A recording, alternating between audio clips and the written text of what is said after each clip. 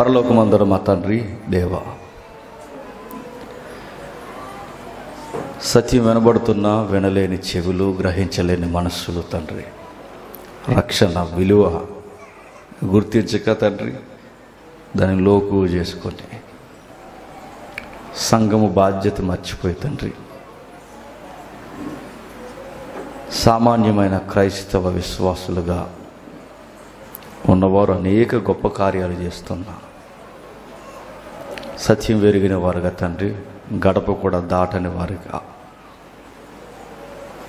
తండ్రి ఒకరినొకరు తండ్రి ఏ విధముగా పురుగొలుపుకోవాలో ఏ విధముగా నడవాలో తండ్రి మరింత మెలుపును తండ్రి మాకు దయచేయండి. మిగిలిన మాటల్లో కూడా మీ తోడును అనుగ్రహించండి. ఈ నూతన సంవత్సరం ఈ మొదటి వారం మా అందరితో మీరు మాట్లాడండి. మీ సహాయం లేకపోతే తండ్రి ఎవ్వరు నిలబడి తండ్రి మీ వాక్యాన్ని ప్రకటించలేరు. మీ వాక్యాన్ని అర్థం చేసుకోలేరు. మీ హృదయాలు తెరవకపోతే మీ మాటలు మేము గ్రహించలేము. తండ్రి మమ్మల్ని మార్చండి. మరింతగా తండ్రి బలపరిచి మమ్మల్ని నడిపిస్తారని కోరుతూ అన్ని విధాలుగా లొంగిపోతూ క్రీస్తునామని ప్రార్థన సమర్పిస్తున్నాము తండ్రి. ఆమె కొన్ని విలువైన సంగతులు మనం నేర్చుకుంటాం. చాలా ప్రాముఖ్యమైన సంగతులు ఉన్నాయి. పనులు ఎవరైనా ఉన్నవారైతే నేను ఏమనుకోను ముందుగానే వెళ్ళిపోండి. ఉండి మూలుక్కునే కన్నా వెళ్ళిపోవడం చాలా మంచిది. చూద్దాం ఒక దర్యాప్తు ఉంది ఈరోజు. సువార్త. సువార్త వినబడడం వలనే ఈరోజు మనం అందరం ఇక్కడ ఉన్నాం. సువార్తను విన్నాము గనకే ఈరోజు మనం అందరం ఇక్కడికి వచ్చాం. వచ్చిన మనం సువార్తను బోధించడం నెగ్లెక్ట్ చేస్తున్నాం మానేస్తున్నాం.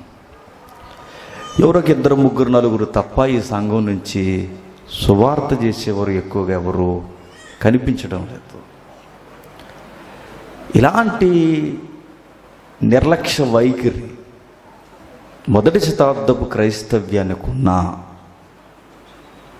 పదిహేడు పద్దెనిమిది పంతొమ్మిది శతాబ్దాల మిషనరీ వ్యవస్థకి ఈ నిర్లక్ష్య వైఖరి తాకిన నేను చెబుతున్నాను ఈ ప్రపంచ పటం మీద ఇంకా నరమాంస భక్షకులు బతికి ఉండేవారు. ఆ రోజుల్లో అలా ఉండేవారట మనుషులను తినేవారు అని అనుకుంటున్నాం. ఈరోజు ఆ నరమాంస భక్షకులు లేకుండా పోవడానికి కారణం ఏంటి చెప్పండి? సువార్థికులు. బైబిల్ మనకు ఏమి నేర్పించిందంటే మిద్దెల మీద ఉన్న మీరు మేడల మీద ప్రకటించండి. ఉచితముగా నేర్చుకునే రక్షణలోకి వచ్చిన మీరు అనేకులను ఉచితముగా పిలవండి. నేను చెబుతున్నాను ఎంత సమస్యలు ఉన్నా ఎన్ని ఇబ్బందులు ఉన్నా ఎన్ని పరిస్థితులు ఎలా మారిపోయినది? కరోనా అయినా రకరకాల వ్యాధులైనా. క్రైస్తవుడి గుండెల్లో ఉండాల్సిన బాధ్యత ఏంటంటే సువార్తను జరిగించాలి అది. సువార్తను మనం బోధించకపోతే నేను చెప్తున్నాను ఎదుటోడికి సువార్త బోధించడం ఎంత ఆత్మీయతో సువార్త బోధించడం నీ జీవితాన్ని కూడా అంత ఆత్మీయత. అంత గొప్పతనం ఉంది సువార్తలో. అయితే ఈ మధ్యకాలంలో ఒక పెళ్ళి జరిగింది. ఆ పెళ్ళి పేపర్లో దంచేసారు పట్టుకొని ఫ్రంట్ లైన్ దగ్గర నుంచి బ్యాక్ లైన్ వరకు ఫ్యామిలీ మ్యాగజైన్స్ వరకు సండే మ్యాగజైన్స్ వరకు ప్రింట్ మీడియాలో ఎలక్ట్రికల్ మీడియాలో ఆ ఫ్యామిలీకి సంబంధించిన మ్యారేజ్ ఈవెంట్ అనేది పుంకాలు పుంకాలుగా రాసేశారు. అది చదువుతున్నప్పుడు మేము కూడా ఇలాంటి ఫ్యామిలీలో పుడితే బాగుందని అనిపించిన వారు కొందరు. అది చదువుతున్నప్పుడు నా పెళ్ళి కూడా ఇలా జరిగితే బాగుండని ఫీల్ అయ్యేవారు కూడా ఉంటారు. కానీ నిజమైన క్రైస్తవుడు అనుకోవాలి ఇలాంటి మెగా ఫ్యామిలీకి నాకు అర్థం అవ్వాలి ఇలాంటి మెగా ఫ్యామిలీకి గాస్పల్ ఎవరు తీసుకెళ్తారు అని. నువ్వు నేను వెళితే గేట్లోకి రానిస్తారా? రానివ్వరు. దేశానికి అధికారులుగా అధినేతలుగా అంబాసిడర్గా పనిచేస్తున్న అనేక మంది సెలబ్రిటీలు ఉన్నారు రాజకీయవేత్తలు ఉన్నారు సోకాళ్ళ సుపరిచిత నాయకులు ఉన్నారు ఎందరో ఉన్నారు. వాళ్ళందరినీ చూస్తున్నప్పుడు ఎప్పుడైనా సహజంగా సామాన్యంగా అరే వీళ్ళకి సువార్త ఎవరు చెబుతారని ఎప్పుడైనా అనిపించిందా? సువార్త కొందరికి కాదు సువార్త మనసు అన్న ప్రతి ఒక్కడికి. ప్రతి ఒక్కరికి సువార్త వెళ్ళాలి. మరి నువ్వు వెళ్ళనీయకపోయి నేను వెళ్ళకపోయి ఎవరో వెళ్ళకపోయి మరి సువార్త అట్టి వారికి ఎట్లా అందుద్ది అన్న దానికి ఆన్సర్ ఏమై ఉంది? ఏదో ఉంది. అదేదో ఆ లైన్ మనం తెలుసుకోవడానికి ఒక పుస్తకం పుస్తకం కొన్ని కమ్యూనిటీస్ని మనం టచ్ చేద్దాం. నిజంగా ఈ పుస్తకం అంటే ఎన్ని మార్లు చదివేసినా ఈ నూతన సంవత్సరానే కాదు ఎన్ని నూతన సంవత్సరాలు వచ్చినా మనల్ని రేపుతుంది అలాంటి పుస్తకం అది. చూద్దాం ఒకసారి ఆ పోస్తుల కార్యం. శ్రద్ధగా బాధ్యతతో నా కోసమే దేవుడు మాట్లాడుతున్నాడు అని అందరం స్వీకరిద్దాం మనస్ఫూర్తిగా ఈ మొదటి వారంలో మనల్ని మనం హెచ్చరించుకుందాం. చూద్దాం అపోస్తుల కార్యములు. మొదట అధ్యాయం. అపోస్తుల కార్యములు మొదట అధ్యాయం. ఏడవ వచనం. కాలములను సమయములను తండ్రి తన స్వాధీనమందు ఉంచుకొని ఉన్నాడు. వాటిని తెలుసుకొనుట మీ పని కాదు. దేవుని సర్వాధికారంలో సవర్ణటి ఆయనకి సంబంధించిన ఒక పరిధి ఉంది. ఆ పరిధిని మీరు తెలుసుకోవాలని ఎంత గీ పెట్టినా మీకు ఎప్పటికీ తెలీదు. ఎంతమంది గుర్తుందో? కరోనా టైంలో చాలా చర్చలు ఆగిపోయాయి కానీ మన చర్చ రన్ అయింది. బై గాడ్ గ్రేస్ అది దేవుడు మనకిచ్చిన భాగ్యం. అడలిపోయారు. అలాంటి టైంలో ఒక తరగతి వినబడింది. ఎంతమంది విన్నారు? Part one part two. ఏంటది? దేవుని చిత్తం తెలుసుకోవడం ఎలా? మీరు విని వదిలేసిన ఒక మాట చెప్పిన సండే క్లాసులు మాత్రమే మీరు వింటున్నారు కానీ రకరకాల ప్రాంతాల్లో మన సంఘం నుంచి వినబడుతున్న అనేకమైన ఉపదేశాలు ఎంతమంది వింటున్నారు నాకు తెలియదు అక్కడ చెప్పేవి ఇక్కడ చెప్పబడవు. ఇక్కడ చెప్పేవి అక్కడ చెప్పబడవు. ఇన్నెందుకు చెప్పాలండి అంటే బతుకుండదే చాలా చిన్న జీవితం. బైబిల్ చాలా పెద్దది. మాట్లాడవలసినవి చాలా ఉన్నాయి. బైబిల్ని అవసరం లేదండి. బైబిల్ నేర్చుకోవాల్సిన అవసరం లేదండి. బైబిల్ని అలా కళ్ళ ముందు పెట్టుకుని ప్రార్థన చేసుకుని సమప్ చేసి ఇంటికి వెళ్ళిపోతే సరిపోద్ది అనుకుంటే మరి బైబిల్ దేవుడు ఎందుకు రాయించాడు? నా ప్రశ్న అది. దేవుడు బైబిల్ని ఎందుకు రాయించినట్టు? ఎందుకు లిఖితపూర్వకమైన డాక్యుమెంట్కి మన చేతిలో పెట్టినట్టు? ఎందుకు చదువుకోమన్నట్టు? అంటే ఇది ఎంత బాగా తెలిస్తే మన సరళి మన జీవితం అంత సరళముగా ఉంటుంది అనమాట అంత బాగా తెలుసుకోవాలన్నమాట. నేను అప్పుడప్పుడు గమనిస్తానండి. బయటి వారైనా చాలా నాలెడ్జ్ ఉందేమో కానీ బాగా వింటున్న సంఘాల్లో మాత్రం కనీసం మౌలిక మౌలిక విషయాలు కూడా తెలియట్లేదు. కారణం ఏంటి చెప్పిన? దగ్గరగా ఉంటే వాల్యూ తెలియదు అర్థం కాదు. సత్యం దగ్గరగా ఉన్న ప్రమాదమే సత్యం దూరంగా ఉన్న ప్రమాదమే. నేను అంటాను పౌలు గారు చచ్చిపోయాడు కాబట్టి ఆయనకు వాల్యూ పెరిగింది కానీ బతుకుంటే ఆయన ఎవరు చెప్పండి పెద్ద పట్టించుకోరు. ఒక ఆయన ఉన్నాడు బ్రతికి ఆయన పేరు స్పర్జన్ అని ఆ, తరంలో ఇంచుమించు అందరూ వెళ్ళిపోయారు. బిల్లి గ్రహం గారు కానీ రీసెంట్గా చనిపోయిన రవి జకరయ్య కానీ ఇలాంటి గొప్ప గొప్ప వారు వెళ్ళిపోయారు. అలాంటి తీవ్రత కలిగిన వాళ్ళు అక్కడక్కడ ఒక ఇద్దరు ముగ్గురు ఉన్నారు ప్రపంచ పట్టం మీద. ఇద్దరు స్పర్జన్. ఆయన కూడా వయసు అవుతుంది. ఇలాంటి వారు బతుకున్నంతకాలం ఫాలోయింగ్ తెగ పెద్దగా ఉండదు. ఫాలోయింగ్ అనగానే ఫ్యాన్స్ అని కదా మీ దరిద్రం ఏంటంటే ఒకటి చెప్తే ఒకటి అర్థం అవుతుంది ఫాలోయింగ్ అంటే వాక్యాన్ని ఫాలో అవ్వరు. పట్టుకోరు. ఎక్కించుకోరు. నేను చెప్తున్నాను. వాక్యం ఎవడికి పడితే వాడికి అర్థం అవుతుంది నేను ఓపెన్గానే చెప్తున్నాను. ఎవడికి పడితే వాడికి అర్థం అవుతుంది ఎవరికి పడితే వారు రెఫరెన్స్ ప్రభు యొక్క సహాయం లేకపోతే రెఫరెన్స్లో అక్షరాలు కూడా అర్థం అవ్వవు.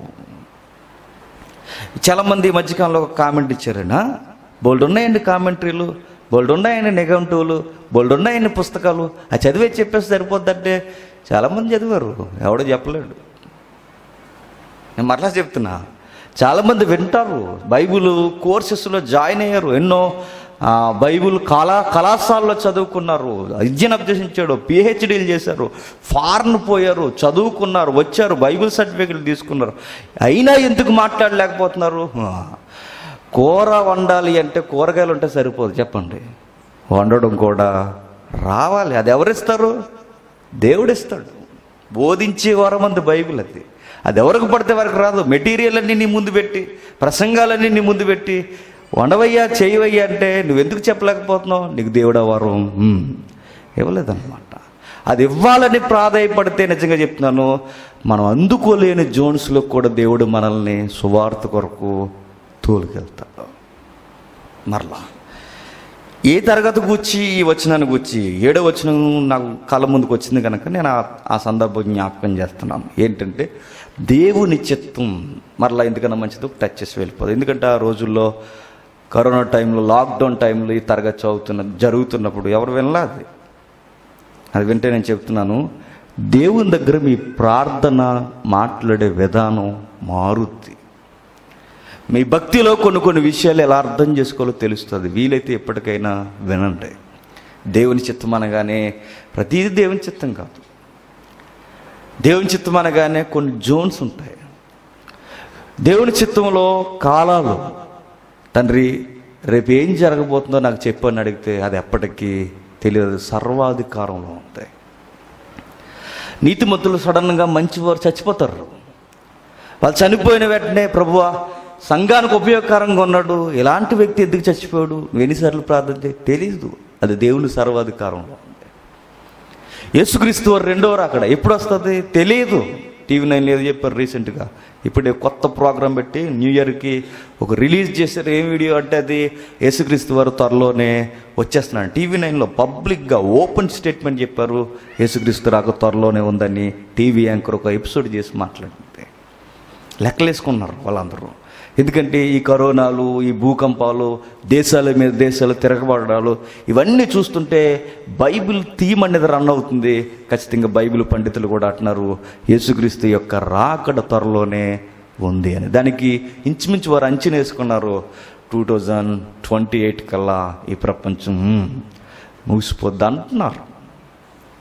దాని గూర్చి మీరు తెలుసుకోవడానికి దాని గూర్చి మీరు తెలుసుకోవడానికి. అది అడిగినా తెలియదు అలాగే అపోస్తులు ఒక విషయం అడిగారట. రోమిల పాలన కింద ఉన్నాం మరలా ఇస్రాయేలీలకి ఫ్రీడమ్ వాయిస్ అనేది మీరు ఇస్తారా ప్రభువా అని అడిగారు. ఈ మాట ఈ సంభాషణ జరుగుతున్న టైంలో ఎవరు ఎవరితో ఎక్కడ మాట్లాడుతున్నారు? బాగా వినండి త్వరగానే వెళ్ళిపోతాం ఈ సందర్భం జరిగే సమయానికి ఎవరు ఎక్కడెవరితో మాట్లాడుతున్నారు?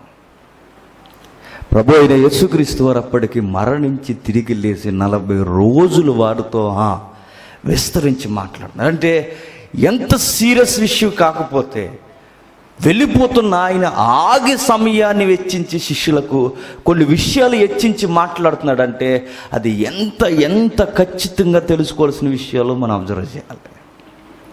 బైబిల్లో మాటలు నిజంగా చెప్తున్నాను బైబిల్ చదవకపోవడం వల్లనే మనకు మైండ్ మెచ్యూరిటీ రాదు. బైబుల్ని అర్థం చేసుకోకపోవడం వలనే మనకు బాధ్యతలు తెలియవు.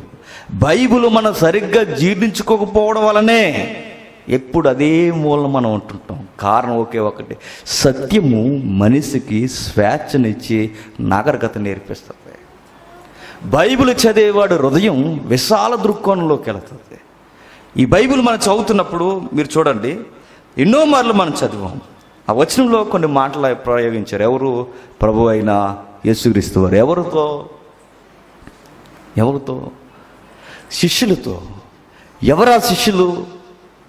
అన్నీ వదులుకొని ఆయనతో సర్వం అనుకున్నవారు. కానీ విషయం ఏంటంటే ఆయనే వారిని వదిలి వెళ్ళిపోతున్నారు. ఇలాంటి టైంలో వాళ్ళ మైండ్ సెట్ ఎలా ఉంటుంది చెప్పండి. ఇలాంటి టైంలో వాళ్ళ మైండ్ ఎలా ఉంటుంది చెప్పండి. అరే సమస్తము ఈయన చూసి మేము వచ్చేసాం. ఈయన చూసి మేము వచ్చిన తర్వాత ఈయన వెళ్ళిపోతున్నాడు ఏంటని వాళ్ళకి ఎన్ని క్వశ్చన్స్ రేజ్ అవుతాయి. రేజ్ అవ్వండి. ఇప్పుడు బాగా మీకు అర్థం కావాలంటే మనకు ఎవరు కాపర్లేరు నిజానికి మనం అందరం యూనిటీగా సంఘాన్ని నడిపిస్తున్నాం కనుక నో ప్రాబ్లం. ఒకే ఒక కాపర్ ఉంది ఆ కాపర్నే మీరు అందరు నమ్ముకుని ఆ కాపురం మీద మీరు అందరూ ఆధారపడితే సడన్గా ఆయన వెళ్ళిపోతే చచ్చిపోతే మీ స్పందన ఏమవుతుంది చెప్పండి. ఇప్పుడు నేను పోయినా అర్జున్ అన్న ఉన్నాడు అర్జుననికి ఏం జరిగినా శేఖర్ ఉన్నాడు. అది కూడా దాటిపోయిన సురేష్ లాంటి తమ్ముళ్ళు రెడీ అవుతున్నారు కనుక వాళ్ళు ఉన్నారు. అలా కాకుండా ఒకే కాపురం మీద నమ్ముకుని ఒకే కాపురిని మీరు చూస్తూ ఆ కాపురి ఎక్స్పైర్ అయిపోతే చచ్చిపోతే ఈ లోకాన్ని వదిలి వెళ్ళిపోతే మన మదిలో ఎన్ని ప్రశ్నలు రేజ్ అవుతాయి చెప్పండి. రేపొద్దున సంఘం ఏంటి? ఏ నమ్ముకొని మేము అన్నీ వదులుకొని వచ్చాం. ఈయన వెళ్ళిపోతే రేపొద్దున మేము ఏ సంఘానికి వెళ్ళాలి? ఎక్కడికి పోవాలి? మమ్మల్ని నిలబెట్టేదేవారు? మాకు ధైర్యం చెప్పేదేవారు? మా వ్యాధుల్లో బాధల్లో రోగాల్లో పరిస్థితుల మధ్య మాకు ధైర్యం చెప్పి ఇన్ని క్వశ్చన్స్ రేజ్ అవుతాయి. ఒక కాపర్ను చూస్తేనే మనకి ఇన్ని క్వశ్చన్స్ రేజ్ అవుతున్నాయి. సర్వాన్ని వదులుకుని మనం ఏం వదిలిరాం? ఏమన్నా వదిలేస్తాం? దేవుని కొనుక ఏం వదలం? సేఫ్టీగా వస్తాం సేఫ్టీగా వెళ్తాం నీట్గా మాట్లాడుకుంటాం హాయ్ హాయ్ బాయ్ బాయ్ అంటాం. ఏమన్నా ఉంటే ఫంక్షన్స్కి ముందుగా పిలవండి ఖాళీ చేసుకుంటాం అని చెప్తాం. ఆ తర్వాత వెళతాం చూసుకుంటాం హాయ్ అంటాం మళ్ళీ సండే వస్తా అన్న అన్నాడుగా సండే వస్తే మళ్ళీ కనబడతాం. కాలం గడిచే కొద్దీ బాధ్యత పెరగాలి. కాలం గడిచే కొద్దీ చెప్పండి. నిర్లక్ష్యం పెరిగితే బయట సంఘాలకు మన సంఘాలకు తేడా ఏమీ ఉండదు. నిజమే. పన్నెండు సంవత్సరాల క్రితం బయట సంఘాలని పనిలేని సంఘాలు అనేవాళ్ళం. తిరిగి తిరిగి సూత్రం ఎక్కడికి వచ్చింది? చెప్పండి. చెప్పేవాళ్ళకు ఉంది పని. ఎవరికి పని లేకుండా పోయింది చెప్పండి. సంఘానికి వినేవారికి పని ఉంది పని లేకుండా పోలా పని వద్దనుకుంటున్నారు అన్నమాట అయితే ఈ సూత్రాన్ని మీరు అలా అబ్జర్వ్ చేయండి. యేసుక్రీస్తు వారు ఎలుతూ ఎలుతూ ఎలుతూ ఎలుతూ వారితో మాట్లాడు. ఒక కాపర్ లేకపోతేనే మనం ఎంత కంగారు అయిపోతుంది నేను చెప్తున్నానండి కాపర చనిపోయిన తర్వాత మూసేసి ఆ స్థలాలని అమ్మేసిన సంఘాలు ఉన్నాయి తెలుసా? ఒక కాపరి సంఘాన్ని బలముగా నడిపించిన తర్వాత ఆ సంఘాన్ని లేదా ఆ యొక్క స్థలాన్ని అమ్మేసిన సంఘాలు ఇన్నున్నాయి సొసైటీలో. మరి యేసుక్రీస్తు వారే స్వయాన ఆయనే వెళ్ళిపోతున్నప్పుడు ఆయనేకి లోకం నుంచి వెళ్ళిపోతున్నప్పుడు అన్నీ ఆయన చూసి వదిలేసి వచ్చేసినప్పుడు వీళ్ళు వెళ్ళిపోతున్నప్పుడు వీళ్ళ గుండెల్లో ఉన్న మాట ఏంటంటే ప్రభువా మేము ఆ విషయం అడుగుతున్నాం. ఇప్పుడు మరలా ఇస్రాయేల్ దేశానికి అనగా మాకు ఈ రోమీలు బానిసత్వం నుండి బయటికి తీసుకొచ్చి మరలా ఆ కానాను భూభాగం లాంటి అప్పుడు ఆ ప్రారంభపు వాతావరణం లాంటి వాతావరణం మాకు మరలా ఇస్తావా? అని అడిగారు. అప్పుడు ప్రభు అన్నాడు అర్థం అవ్వాల్సిన దానికన్నా అనవసరమైన మీకు ఎక్కువ. అర్థమవుతున్నాయి అన్నాడు. మనిషికి ఉండే తత్వం ఏంటి చెప్పండి? అర్థం అవ్వాల్సింది అర్థమవుతాం అర్థం కావాల్సినవి అర్థం చేసుకోకుండా పనికిరాని అని అర్థమవుతుంటాయి. ఒకటి చెప్తే ఒకటి అర్థమవుతుంటుంది. అది ఎలా ఉంటుందంటే నిజానికి ఎదుటి వ్యక్తి ఏం మాట్లాడుతున్నాడో అటెన్షన్ ప్లే చేయకపోతే చెప్పండి అర్థమవ్వు.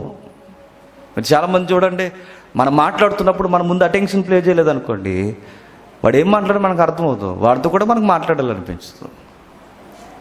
వీళ్ళు కూడా ఏదో మైండ్లో పెట్టుకుని అడుగుతున్నారు. అప్పుడు ప్రభు అంటున్నాడు అప్పుడు అంటున్నాడు వాటిని తెలుసుకోవడానికి ఆతృత పడకండి. అది ఇంపార్టెంట్ కాదు. ఒక ఇంపార్టెంట్ విషయం ఉంది. అది చెప్తున్నాను నోట్ చేసుకోండి అన్నాడు ఆయన. ఏంటది? చదవండి. అయినను పరిశుద్ధాత్మ మీ మీదకి వచ్చినప్పుడు మీరు శక్తి నొందెదరు కనుక మీరు ఎరుసలేములోను యోదయ సమరయ దేశముల అంతటను భూ దిగంతాల వరకు. నాకు సాక్షుల ఇందురని. వారితో చెప్పాను. ఏమంటున్నాడు చూడండి.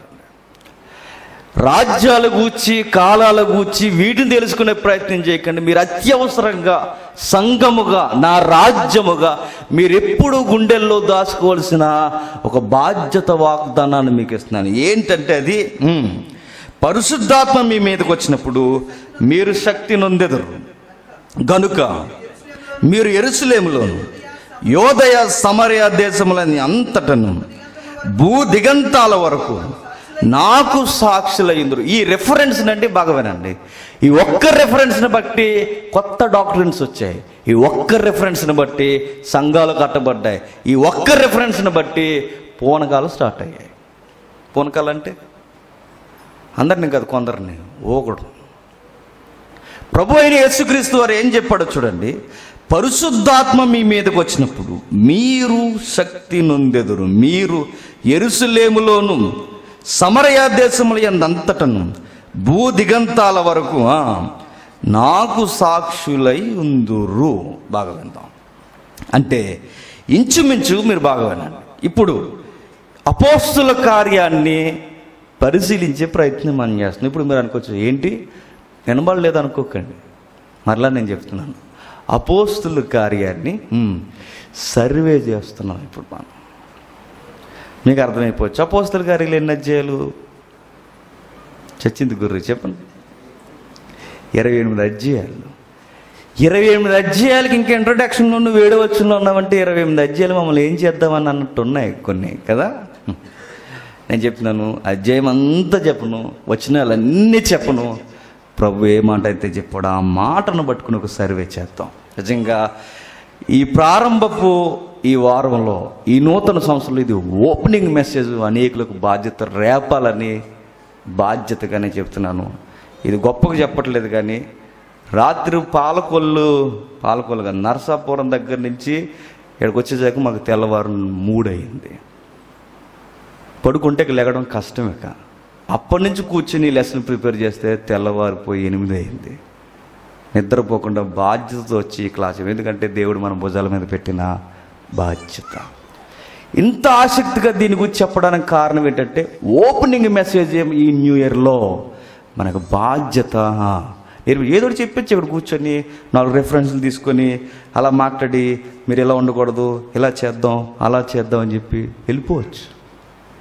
అలా చెప్పడం పెద్ద కంపారిజన్ మెసేజ్ చెప్పడం చాలా ఈజీ. కానీ సత్యం ఏముందో దాన్ని పరిశీలించి మాట్లాడడం దైవికమైన పెనుగులాట లేకపోతే కష్టం. చెప్పేవాడు అంత కష్టపడి చెబుతున్నప్పుడు ఎవరైనా అన్నలైనా నేనైనా నేను చెప్తున్నానండి ఒక లెసన్ రెడీ చేయాలంటే తలకిందులు తపస్సు చేయాలి. అడగండి చెప్పేవాళ్ళని. కంటిన్యూగా ఒక ముప్పై మీటింగ్లు మీకు ఇచ్చారు అనుకోండి చచ్చిపోతారు తెలుసా? చెప్పింది చెప్పకుండా చెప్పాలి. అక్కడ వరకు ఎందుకు? నాలుగు వారాలు మీరు ఏకదట్టుగా చెప్పండి. ఈ నాలుగు వారాలు ఈ నెల మీకు అప్పచెప్పామని చెప్పండి. చెప్పండి ఎవరైనా. చాలా కష్టం అవుతుంది తీరిగ్గా కూర్చుని మనం ఏమంటాం? ఇది మనం చెప్పావుగా? అంటాం. ఒకవేళ పొరపాటు రిపీట్ చేస్తే. ఇది అదంతా మనకు వచ్చేసినట్టు. అదేదో మనం ముందే రెడీ చేసి మనం మాట్లాడేసినట్టు.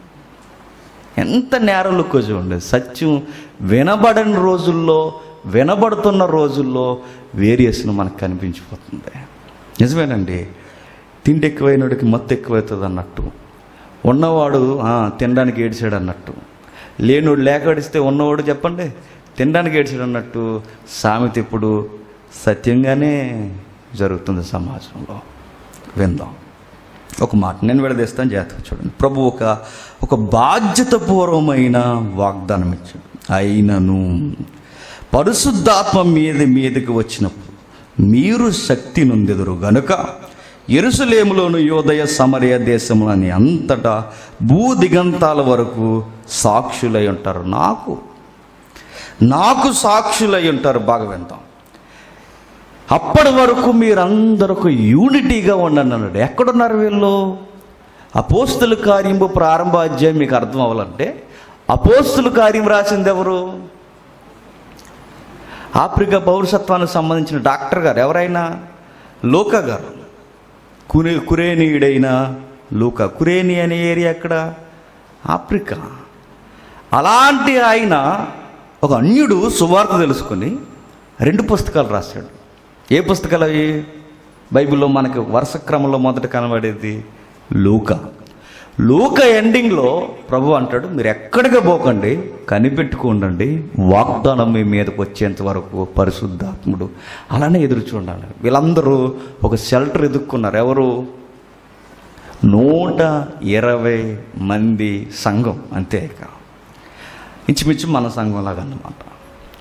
ఈ నూట ఇరవై మంది నూట ఇరవై మంది ఒక మేడగదిలోకి వెళ్ళిపోయి ప్రభు చెప్పే వాగ్దానాల కొరకు ఎదురు చూస్తున్న టైంలో ప్రభు వారికి ప్రత్యక్షమయ్యాడు. నలభై రోజులు కంటిన్యూగా ప్రత్యక్షం అవుతున్నాడు కనబడుతున్నాడు. ఎంత విడ్డూరమైన సంగతి చూడండి. చనిపోయాడు అనుకున్న వారి గురువు గారు చనిపోయాడు అనుకున్న వాళ్ళ ప్రభు. మరలా వచ్చి సజీవంగా కనబడుతున్నాడంటే వాళ్ళకి తిన్న నిద్రపోయిన మాట్లాడుకున్న ఎప్పుడు ఒకే విషయం రన్ అవుతుంది అదేంటి చెప్పండి? మన ప్రభు సజీవంగా ఉన్నాడు. నేను చెప్తున్నానండి దర్శనంలో ప్రభు కనబడతానే చచ్చేంత వరకు సేవ చేసే సేవకులు ఉన్నారు. కలలో ప్రభు ఇలా చేయమంటే ఆ మాట కట్టుబడి బైబిల్ పట్టుకుని అన్ని వదిలేసి వెళ్ళిపోయిన వారు మరి ప్రత్యక్షంగా కనబడితే వాళ్ళేమైపోవాలి? అందుకే అతసాక్షులు అయిపోయారు వాళ్ళు. నిజాన్ని సత్యాన్ని కళ్ళతో చూసేశారు వాళ్ళు. అలా చూసిన వారు నిలబడి మాట్లాడుతున్నారు ప్రభుత్వం. ప్రభువా ఏంటి వాళ్ళు ఏం మాట్లాడిపోతున్నారు ఎక్కువ తెగించి అడగలేకపోతున్నారు. ఎందుకు? ఇప్పటివరకు వాళ్ళతో కామన్గా తిరిగాడు వాళ్ళతో కూర్చున్నాడు భోజనం చేసాడు తిరిగాడు సముద్రాల మీద. కానీ ఇప్పుడు ఆయన ఒక వెలుగులో మహాశక్తిగా ఒక రూపంగా ఆయన కనబడుతున్నాడు. ఎలా అంటే ఆయన అదృశ్యుడవుతున్నాడు దృశ్య రూపంలోకి వెళ్తున్నాడు. ఆ విచిత్రమైన జీవితాన్ని ఆయన అర్థం చేసుకోవడం కొంచెం జీర్ణించుకోవడం కష్టంగా ఉంది అలా అంటే ఆయన అంటున్నాడు. మీకు నేను ఒక వాగ్దానం ఇస్తున్నాను. మీ మీదకి పరిశుద్ధ ఆత్ముడు వస్తాడు అప్పటి వరకు. ఎక్కడైతే మీరు ఉన్నారో ఎరుసలేం సిటీలో అక్కడే ఉండండి ఇంకెక్కడికి వెళ్ళక. చెప్పిన మాటల్లో మూడు పాయింట్లు మనకు కనబడుతున్నాయి. ఒకటి పరిశుద్ధాత్మ మీ మీదకి వస్తాడు. రెండు పోనీ మీరే సర్వే చేయండి ఒకసారి ఆ వచనాన్ని. మొదటి అధ్యాయం ఎనిమిదో వచ్చిన ఎన్ని పాయింట్స్ ఉన్నాయి ఒకసారి చూడండి. అయినను పరిశుద్ధాత్ముడు మీ మీదకి వచ్చినప్పుడు. మీరు ఎరుసులేములు. ఎరుసలేములు సమరయ యోదయ సమరయ దేశములంతటా భూ దిగంతాల వరకు నాకు సాక్షులై ఉందరు. ఇప్పుడు అందులో సుమారుగా నేను ఓపెన్గా చెప్తున్నాను. సుమారుగా మూడు బాధ్యతలు అక్కడ చెప్పాడు. ఎవరు? ప్రభు అయిన యేసుక్రీస్తు. ఆ మూడు బాధ్యతలు ఏం కనబడుతున్నాయి అక్కడ? ఒకటి పరిశుద్ధాత్ముడు మీ మీదకి రావడం. రెండు పరిశుద్ధాత్మ మీ మీదకి రావడమే శక్తి అందడం మళ్ళీ శక్తి వేరు పరిశుద్ధాత్మ వేరు కాదు. పరిశుద్ధాత్ముడు పరిశుద్ధాత్ముడు మీ మీదకి రావడం. అది వాగ్దానం. రెండు రెండేంటి? మన బైబిల్ ఇది. సాయిబుల్ది కాదు. మనదే మన బైబిల్ మన క్రైస్తవులు మనం. చూసారు మన మనం ఎంత బైబిల్ స్టడీలు ఎంత వెనకడిపోయాం? నేను చెప్తున్నాను ప్రసంగాలు మనుషుల్ని కదిలిస్తాయి లేదో నాకు తెలియదు కానీ బైబిల్ స్టడీ మాత్రం మనిషిని కదిలిస్తుంది. లేఖనమే విస్తరించి మనుషులతో ప్రభువు మాట్లాడడం స్టార్ట్ చేశాడు. రెండవ బాధ్యత నేను చెప్తాను చూడండి.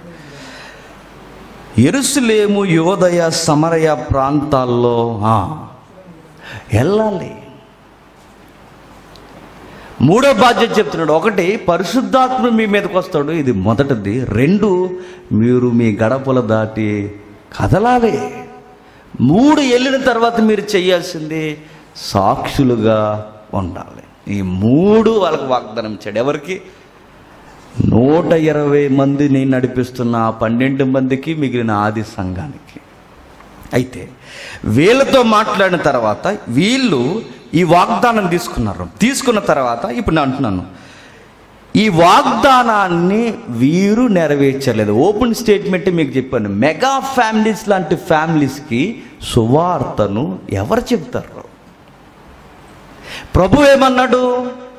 అప్పటికి వాళ్ళకున్న మ్యాప్ పాయింటింగ్ని బట్టి రెండు వేల సంవత్సరాల క్రితం మ్యాప్ పాయింటింగ్. నీకు అర్థమవుతుందా? మ్యాప్ అప్పుడు ఇప్పుడు ఒకలాగా ఉండదు. మ్యాప్ ఏమవుద్ది? ఇయర్స్ పెరిగే కొలది మ్యాప్ అప్డేట్ అవుద్ది. ఇప్పుడు చూడండి జగన్ గారు పుణ్యమా అని ఇల్లు ఇస్తున్నాడు. మ్యాప్ ఏమవుతుంది? మారిపోద్ది. మ్యాప్ అంటే తెలుసా? మ్యాప్ అంటే ఏంటని అడిగితే ఇంక అంతే సంగతి లెక్క. మ్యాప్ అంటే ఏంటి? చూసారుగా అప్పుడప్పుడు మనం చూస్తారు? మనం పైనుంచి చూస్తే పైనుంచి పైనుంచి చూస్తే ఇల్లులు అగ్గిపెట్టిలా కనబడి రోడ్లు ఏదో గీతల్లా కనబడతాయి. దీన్ని ఒక పేపర్ మీద గీస్తారు. ఇల్లులు ఇలా- ఇన్ని మూలలు ఇలా ఉన్నాయి. గీతలు ఈ రోడ్లు అని దాన్ని మ్యాప్ అంటారు అన్నమాట ఇవి అప్డేట్ అవుతుంటాయి. రెండు వేల సంవత్సరాల క్రితం వాళ్ళ మ్యాప్ అదే వాళ్ళ పరిధి అదే. వాళ్ళ పరిధి ఏంటంటే యోదయ సమరయ వీళ్ళకి అవుట్లైన్స్ వాళ్ళకి. అక్కడి నుంచి వాళ్ళకు స్టార్ట్ చేసి భూ దిగంతాల వరకు మీరు నాకు సాక్షులుగా ఉండాలి. నిజంగా వాళ్ళ మ్యాప్ని ఎలా నేను చెప్తున్నాను. అప్డేట్ అయిన మ్యాప్స్ మనకు వద్దు కానీ వాళ్ళ మ్యాప్ దగ్గరికి మనం వెళ్ళి నిజముగా వీరు ఆయన చెప్పిన దాన్ని సాక్షార్థంగా నెరవేర్చారా అన్నది. ఇప్పుడు నేను మాట్లాడుతున్నా. ఏరియాస్ అన్నిటి దగ్గరికి వెళ్ళారన్నది అది వద్దు మనకి. ఎందుకంటే అది ఎత్తుకున్నామంటే ఇంకా అవుతుంది అందులో పిహెచ్డి అయిపోద్ది అది అయ్యేసరికి. నీకు అర్థమవుతుందో లేదు. సుమారు డెబ్బై డెబ్బై పైబడి ప్రదేశాలు గుర్తించడం జరిగింది. డెబ్బై ప్రదేశాలు. ఈ వాగ్దానంలో వారు భూదిగంతాల వరకు వెళ్ళారు. ఆ రోజున్న మ్యాప్ను బట్టి అంటే సుమారు డెబ్బై డెబ్బై పైన ప్రదేశాలు వచ్చాయి. ఒక్కొక్క ప్రదేశానికి ఎవరు వెళ్ళారు? ఏం చెప్పారు? ఏం చేశారు? ఎలా వాళ్ళని పట్టుకున్నారు? ఇది స్టడీ చేస్తే నేను చెప్తున్నాను. అపోస్తుల కార్యం అయ్యేసరికి న్యూ టెస్ట్మెంట్ మీద మనం ఒక పిహెచ్డి చేయొచ్చు అనమాట ఆ ఏరియాస్ అన్నీ మనం టచ్ చేయొద్దు. మనం టచ్ చేయాల్సింది ఏంటంటే మనుషుల్లో ఏ ఏ రకాల వారికి సువార్త వెళ్ళింది? అది అదైతే త్వరగా తేలిపోద్ది మనకి. ఏ కమ్యూనిటీస్కి ఏ ఏ తెగలకి దేవుడు సువార్త వాళ్ళకి పంపించాడు. ఒకవేళ మ్యాప్ పట్టుకుని మనం వెళ్ళాం అనుకోండి నేను చెప్తున్నాను అవతిక సంవత్సరానికి ఎన్ని వారాలు? యాభై రెండు వారాలు. ప్రదేశం ఎన్ని వస్తాయి సుమారు? సెవెంటీ ప్లస్ అంటే సంవత్సరం దాటుతుంది అనమాట అది వారమంతా వారానికో తరగతి కాదు వారమంతా పెట్టుకుంటే అప్పుడు అవుద్ది. ఆహా ఇలా చేశారా సువార్త అని అప్పుడు మనకు అర్థమవుద్ది. ఆ డెబ్బై ప్రదేశాలు మనం చదువుకున్న తర్వాత సీరియస్గా మనకు అర్థమయ్యేది ఏంటి చెప్పిన? మేము పెద్ద సువార్త ఏమీ చేయలేదు అని. మ్యాప్ ప్రకారం మనం వెళ్ళొద్దు. ఒకవేళ నిజంగా మ్యాప్స్ అప్డేట్ అవుతాయి అంటే నేను మొన్న ఒక- మాకు ఒక విషయం జరిగింది. అమలాపురం దగ్గర మీటింగ్కి వెళ్ళి వస్తుంటే అమలాపురం ఆవల. మరి ఏంటో సురేష్ సెల్ ఇప్పుడు సురేష్ మొబైల్లో మ్యాప్ జీపీఎస్ ఆన్ చేస్తే విచిత్రంగా మొబైల్ ఇప్పుడు అడవుల్లోనికి గుట్టల్లోనికి రీసెంట్గా ఎక్కడ తీసుకెళ్ళిపోయింది తెలుసా? గోదావరిలోకి తీసుకుపోయింది. మధ్యలోకి వెళ్ళిన ఇసుకతోలే రోడ్ అట్ట అది. మంచు బాగా పడుతుంది. మంచు ఇంత డిస్టెన్స్లో ఏం కనబట్లా ఆ లోపలికి వెళ్ళిపోతే నేను చెప్తున్నాను ఆ లోపలికి వెళ్ళిపోతే సాఫ్ట్గా కనబడుతుంది. ఎందుకంటే గోదావరి ఇప్పుడు రన్ అవ్వదు కదా. స్లో మోషన్లో ఉంటుంది. అది ఏ బైపాస్ రోడ్డు అనుకున్నట్టు కనబడితే ఏంటి పరిస్థితి? మధ్యలోకి వెళ్ళిపోయిన తర్వాత సగం వెళ్ళాక కనబడిందండి అంత గోదావరి. అది ఇసుక తోలి రోడ్డు అనమాట అప్పుడు ఎప్పుడో ఇచ్చారు సర్వేలో ఆ మ్యాప్లో ఇచ్చిన సర్వే లైన్స్ అవి. అప్డేట్ అవ్వలేదు. అప్డేట్ అవ్వక ఏమైంది? గోదావరి జీవించింది మాకు జగన్ గారు పుణ్యమని ఇప్పుడు స్టార్ట్ చేస్తున్నారు. ఏపీ అంతా ఏం చేస్తారట? సర్వే చేస్తారట. మనం ఏపీ సర్వే చేయొద్దు ఇక్కడ ఉన్న ప్రదేశాలు సర్వే చేయొద్దు. మనం సర్వే చేయాల్సింది ఏంటి చెప్పండి? ఒకవేళ మనం సర్వే చేస్తే మేము గోదావరిలోకి వెళ్ళాం. ఈ ప్రదేశాలన్నీ సర్వే చేస్తే మీరు వెళ్తారు? ఎక్కడికి చెప్పండి. ఇంటికి వెళ్ళిపోయి ఇప్పుడు క్లాసుకు రామంటారు మీకు అందుకే అవన్నీ మనకొద్దు. మనం సర్వే చేయాల్సింది ఏంటంటే వీలు సాక్షార్థముగా వారి గడపలు దాటి వాళ్ళ బాధ్యతలు దాటి ఎవరెవరికి సాక్షులుగా ఉన్నారు? ఎన్ని కమ్యూనిటీస్కి వీరు టెస్టమని క్షమించండి గాస్పల్ని వారు తీసుకెళ్ళగలిగారు. నిజంగా అపోస్తుల కార్యం చదువుతుంటండి పూనకం ఏమంటారు? మనకు ఒంటి రోమాలు లెగిస్తుంటే చూసారా? మీరు గదుల్లో కూర్చుని మనసు పెట్టి చదవండి మనకు ఎంటుకలు నెక్కబొడుస్తాయి. అలాంటి సందర్భం ఇప్పుడు కనబడుతుంది చూడండి. చూద్దాం. చూద్దాం ఒకసారి. రెండో అధ్యాయం. ఎన్ని అధ్యాయులు మొత్తం మనకి? ఇరవై ఎనిమిది అధ్యాయులు. ఇప్పుడు ఎన్ని అధ్యాయులు అయిపోయినాయి? ఓపెన్ కోట అయిపోయింది. కలగనుకోవడమే ఇక. ఇప్పుడు ఎన్ని అధ్యాయంలోకి మనం వెళ్ళిపోయాం. రెండో అధ్యాయంకి వెళ్ళిపోయాం అమ్మాయి అన్నట్టు చూస్తారు ఈ లెక్కన ఎంత చాలా త్వరగానే క్లాసు అయిపోద్ది అనమాట అంచనా మీద బతికేయండి. రెండవ అధ్యాయం. తొమ్మిదో వచ్చిన మీద.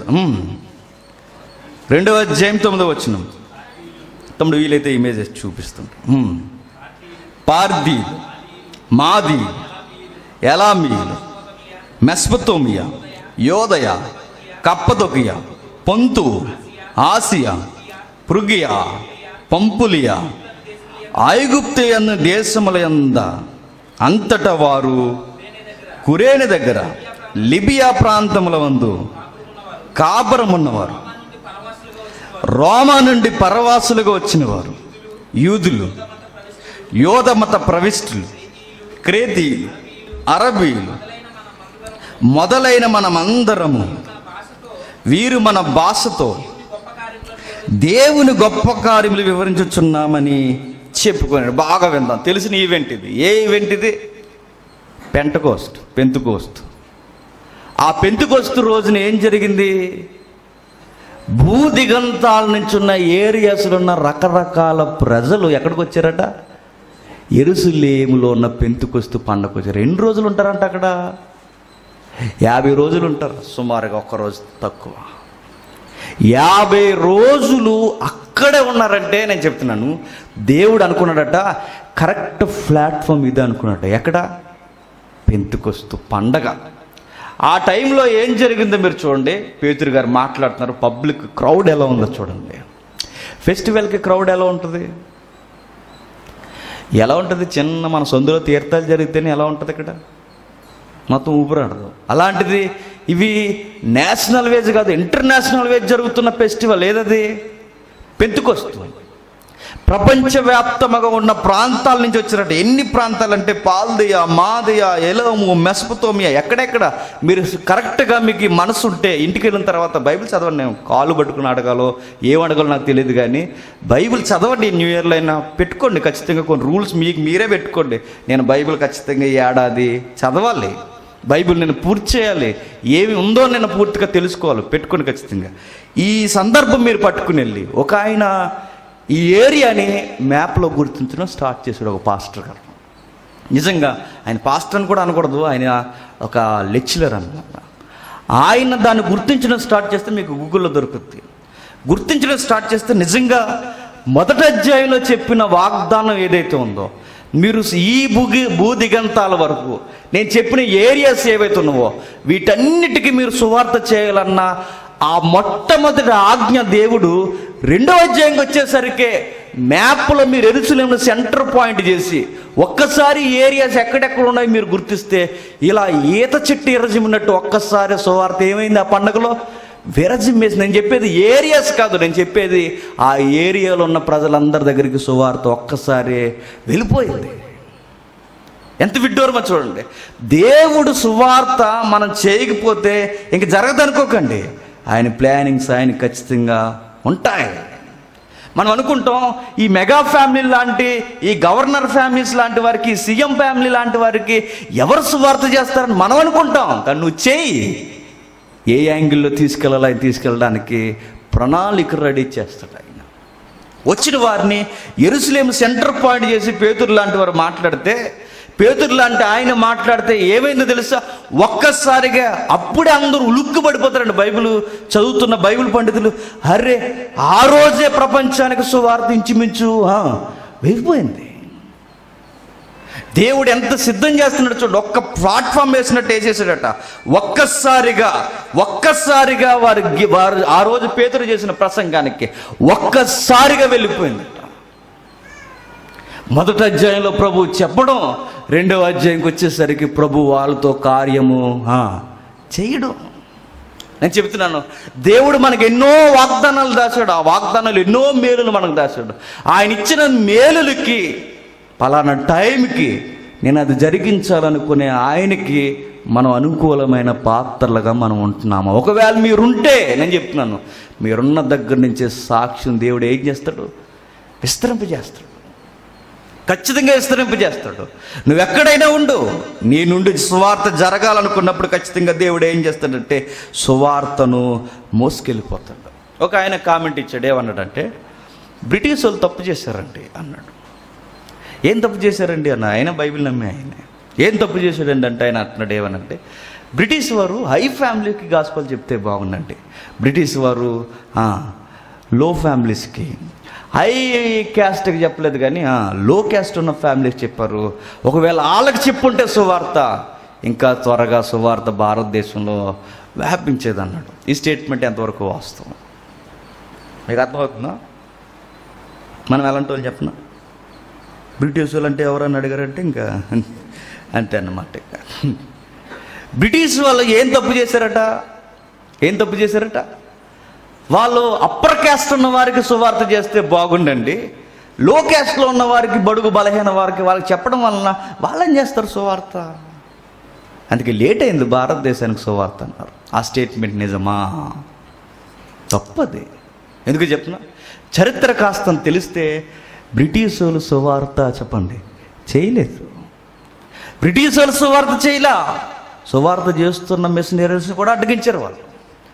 ఫ్రెంచ్ వారు కానీ బ్రిటిష్ వార్స్ కానీ వీళ్ళందరూ భారతదేశానికి వచ్చి చేసింది ఏంటి? సువార్త కాదు వ్యాపారం చేశారు.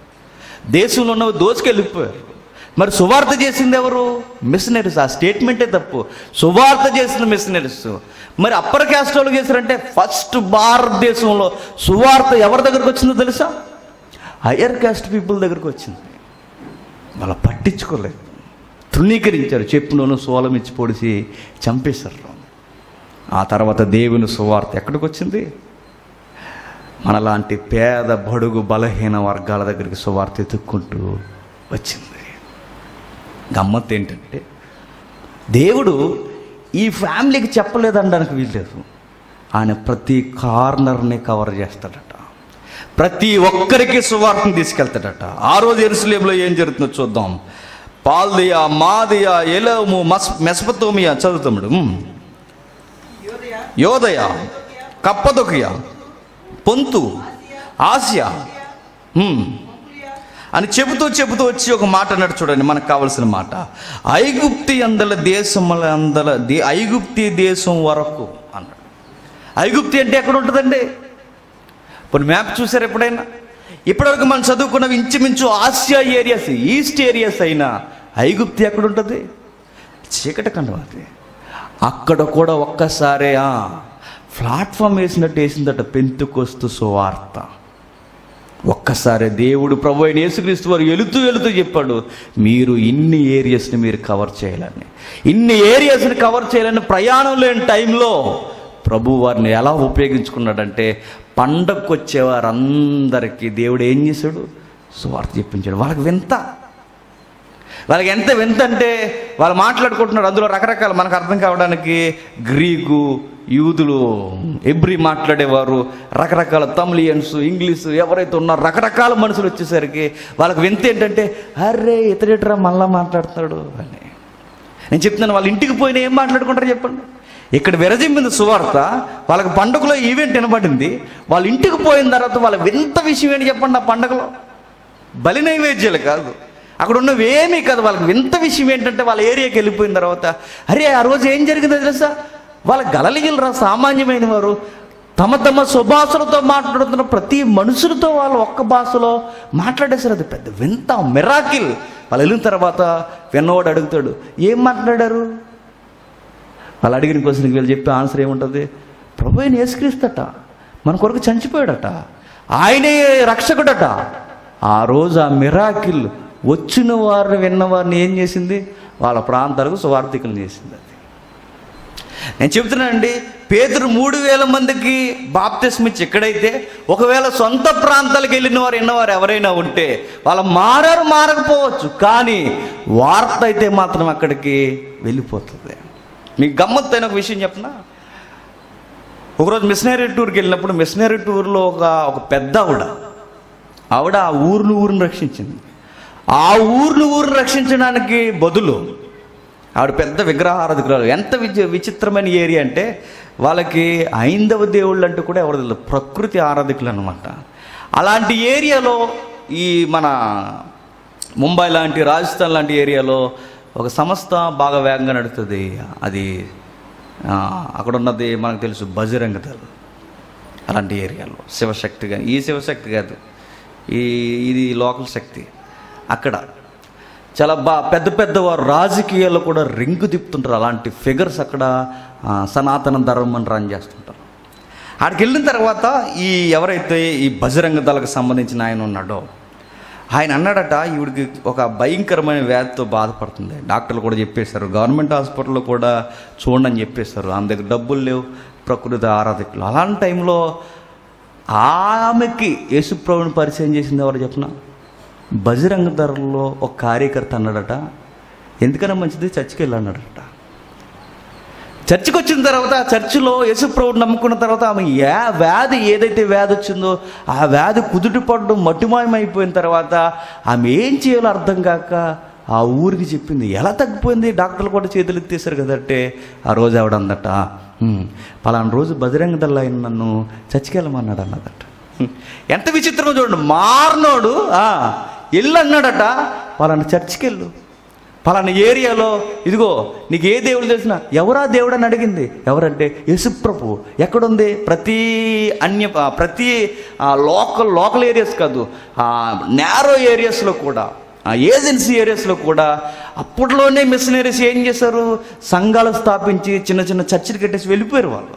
అలాంటి చర్చిని చూసి పలానా కొండ నానుకుని ఉంటుందే ఆ చర్చికి వెళ్ళి అందులో ఒక దేవుడు ఉన్నాడు అన్నట్టు అక్కడికి వచ్చిన తర్వాత ఆవిడ సాక్ష్యం ఆ ఊరిని ఊరు మార్చింది. ఆ రోజు మేము అడిగాం ముంబై టూర్లో అడిగితే ఇప్పుడు ఆ రోజు మిరాకిల్ని బట్టి మీరు మారారు కదా ఈరోజు మిరాకిల్ జరిగితే మరలా అలానే ఉంటారంటే. ఆవిడేమని చెప్పిన నా దేవుడు తెలుసుకోవడానికి ఆ రోగం నాకు ఉపయోగపడింది. ఇప్పుడు నాకు మిరాకిల్ జరిగినా పర్లేదు జరగకపోయినా పర్లేదు. వింతైన స్టేట్మెంట్ ఏంటంటే బజరంగ దళుడు ఆమెకి దేవుణ్ణి చూపించాడు. పెంతుకొస్తు రోజు వచ్చిన పబ్లిక్ అందరూ మారారా లేదు మూడు వేల మందిని పక్కన పెట్టండి. విన్న వాళ్ళు చూసిన పబ్లిక్ అందరూ అక్కడికి వెళ్ళాలి. ఊర్లో ఏం చెప్తారు చెప్పండి. ఎవరో ప్రభు అయిన యేసుక్రీస్తట మరణించాడట తిరిగి లేచాడట అప్పుడప్పుడు వాళ్ళు విన్న వార్తలు వాళ్ళకి ఎలా ఉంటాయంటే అందులో కదిలింపబడిన వారు కూడా ఉంటారు. లేరండి? నిజం. ఏ టైంలో ఏం జరుగుద్దో సువార్త ఎలా వెళుతుందో మనకు తెలీదు. విస్తరణ పెట్టి చెప్పిన? మారినవారు సువార్త చేసి మార్చబడిన వారు సంఘంలోకి వచ్చి చెప్పండి. వాళ్ళు గొప్ప నాయకులు అయిన వారు ఎందరో ఎందరో ఉన్నారు. గొప్పగా సేవ చేస్తున్న వారు ఉన్నారు. మరొక మాట. ఇదే ఏరియాని మీరు జాగ్రత్తగా అబ్జర్వ్ చేస్తే పెత్తుకొస్తు అనేది సువార్తకి పెద్ద ప్లాట్ఫామ్ అయిపోయింది. ప్రపంచ పటం మీద.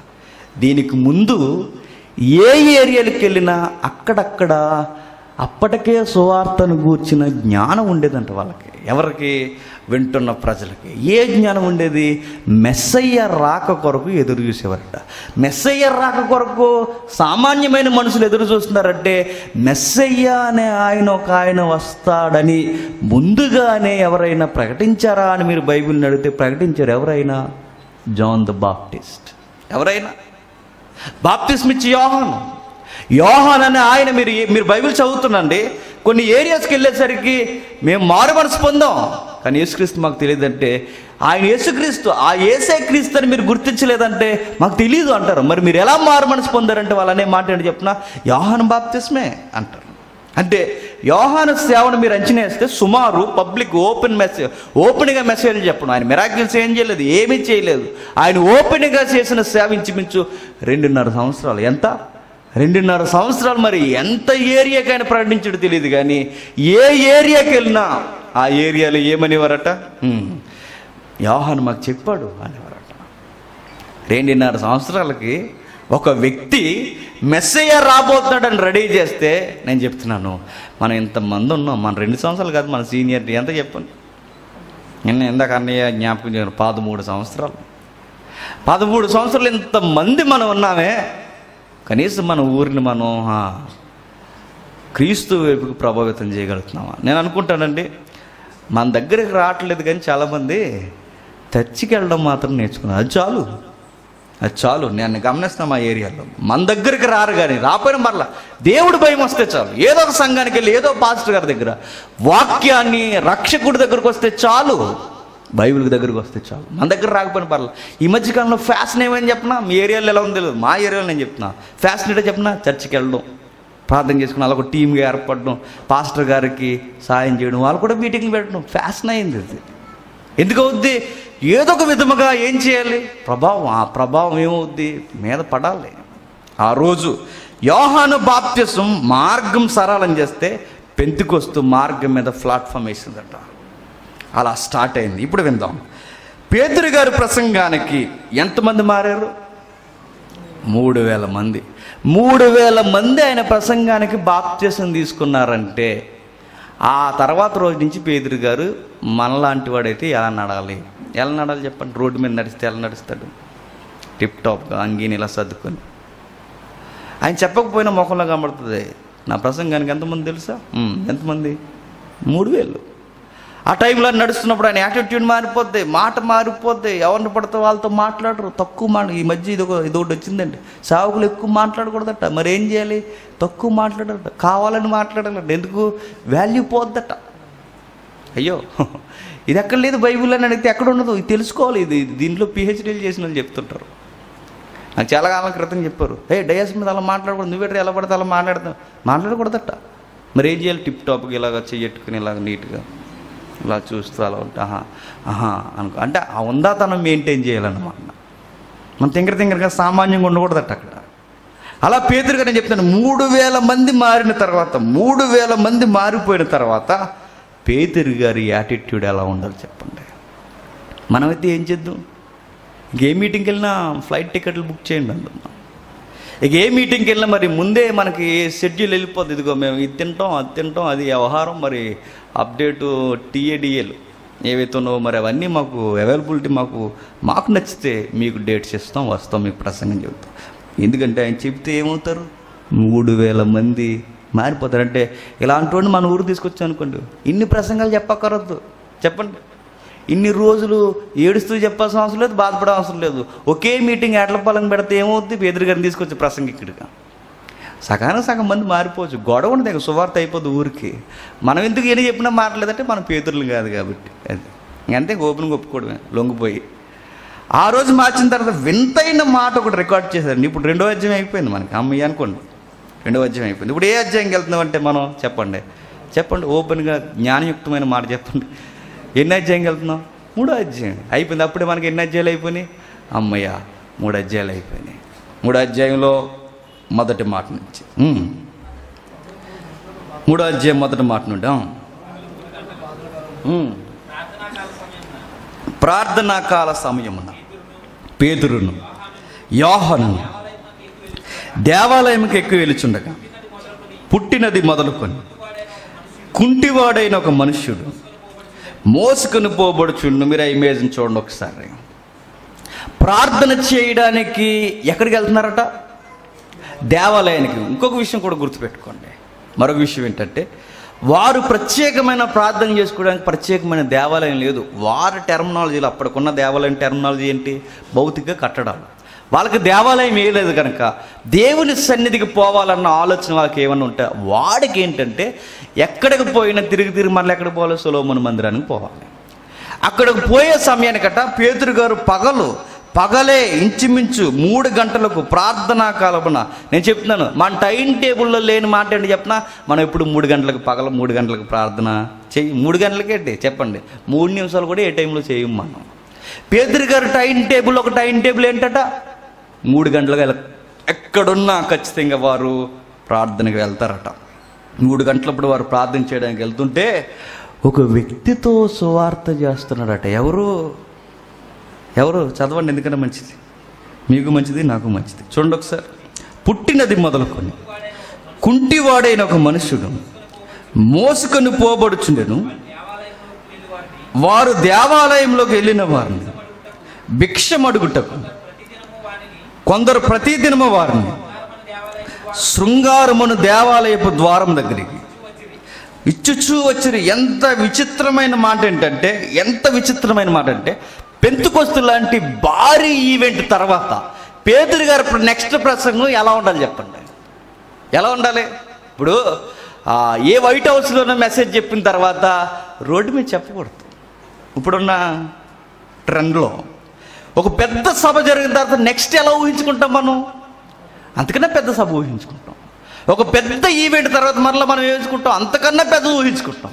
కానీ పేదరి గారు అంతమందికి అంత పెద్ద సభలో మధ్యలో నిలబడి మాట్లాడ ఆయన ఇప్పుడు సువార్త ఎవరికి చేస్తున్నాడు? ఏ కమ్యూనిటీ పీపుల్స్కి చేస్తున్నాడు అంటే వింతైన మాట్లాడి చెప్పిన మూడు వేల మందిని రకరకాల భాషలతో మాట్లాడి ఆ రోజు రక్షించిన ఆయన అంత పెద్ద ప్రసంగికుడు.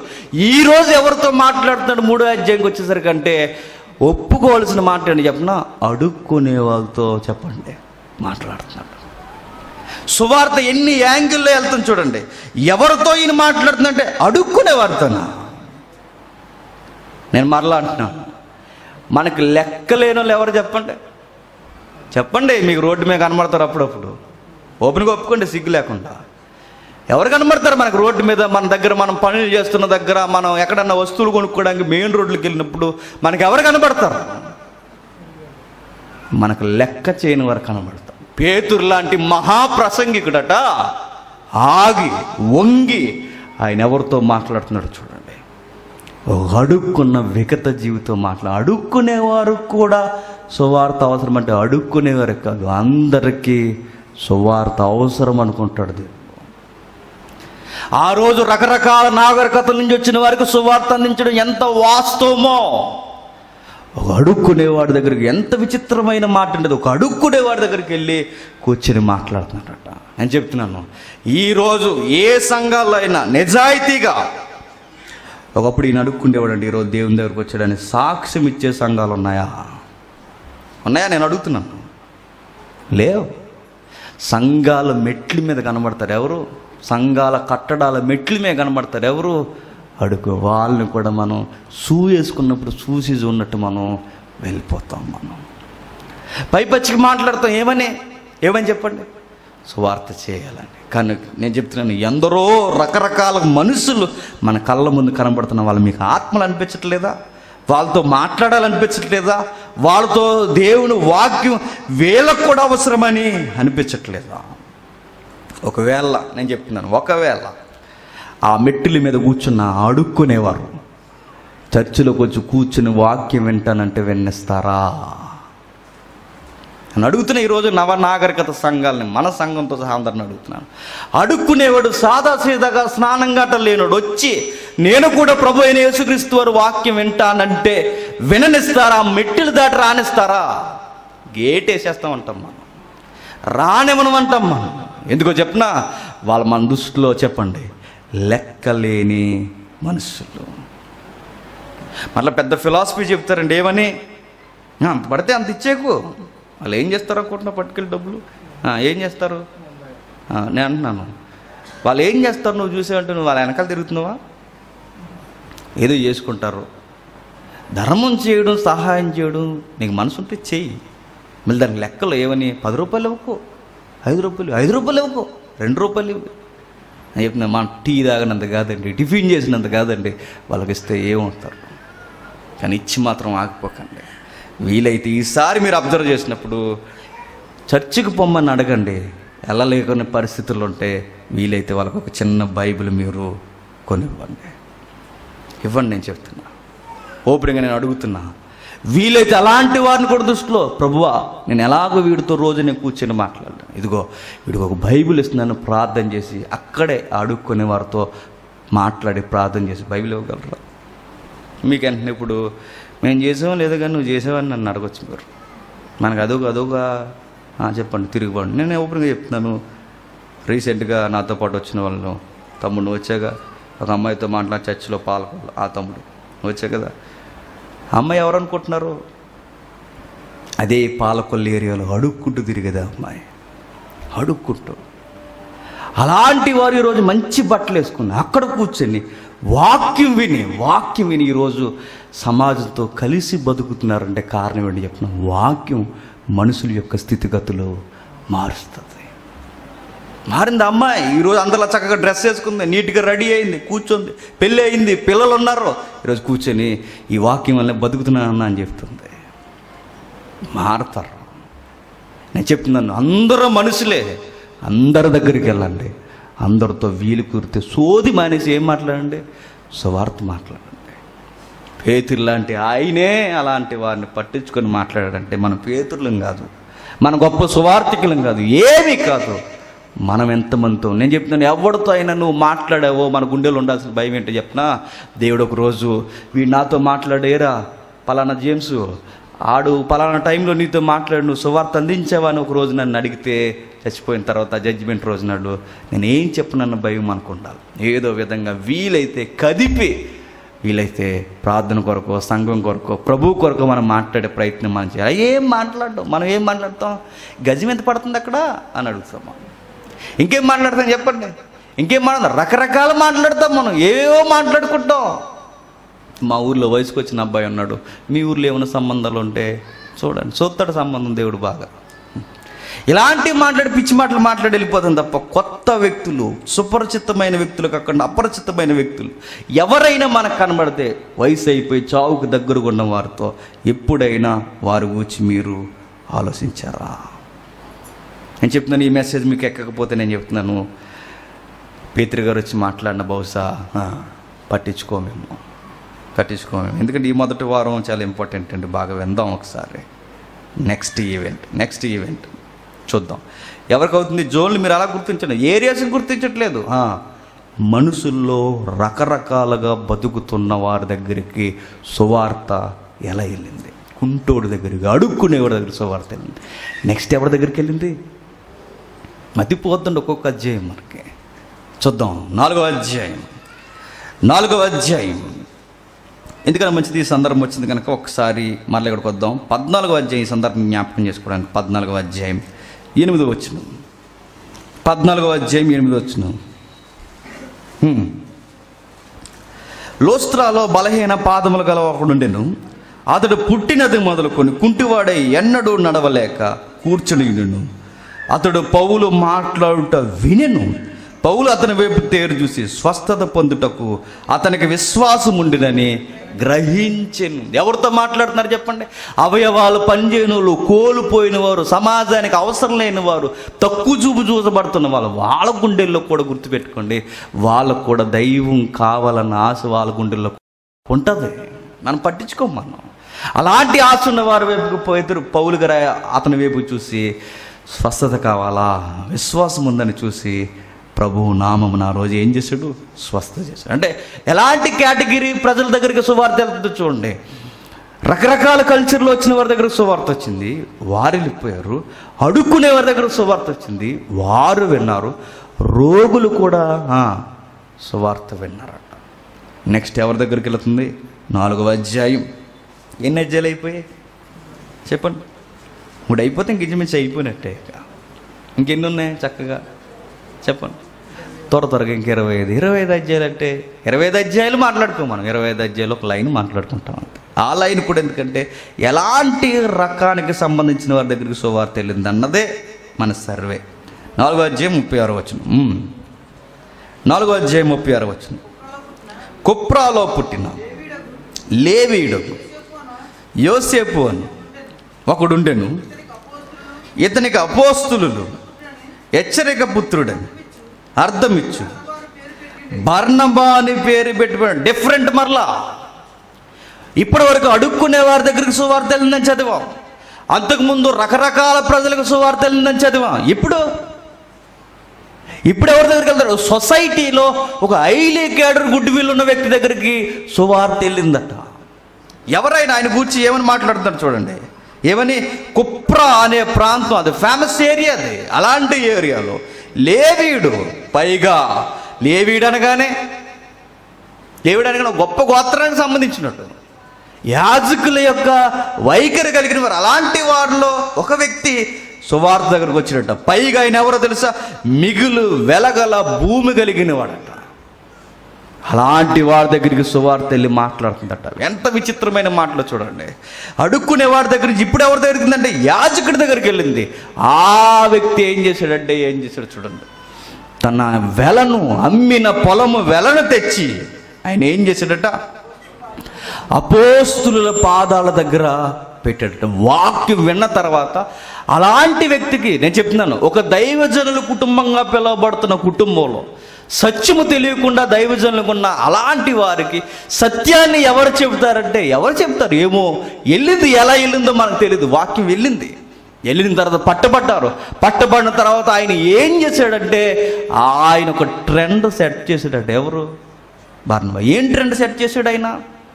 దేవునికి ఇవ్వడం అంటే ఏంటో ముందిచ్చి చూపించాడట.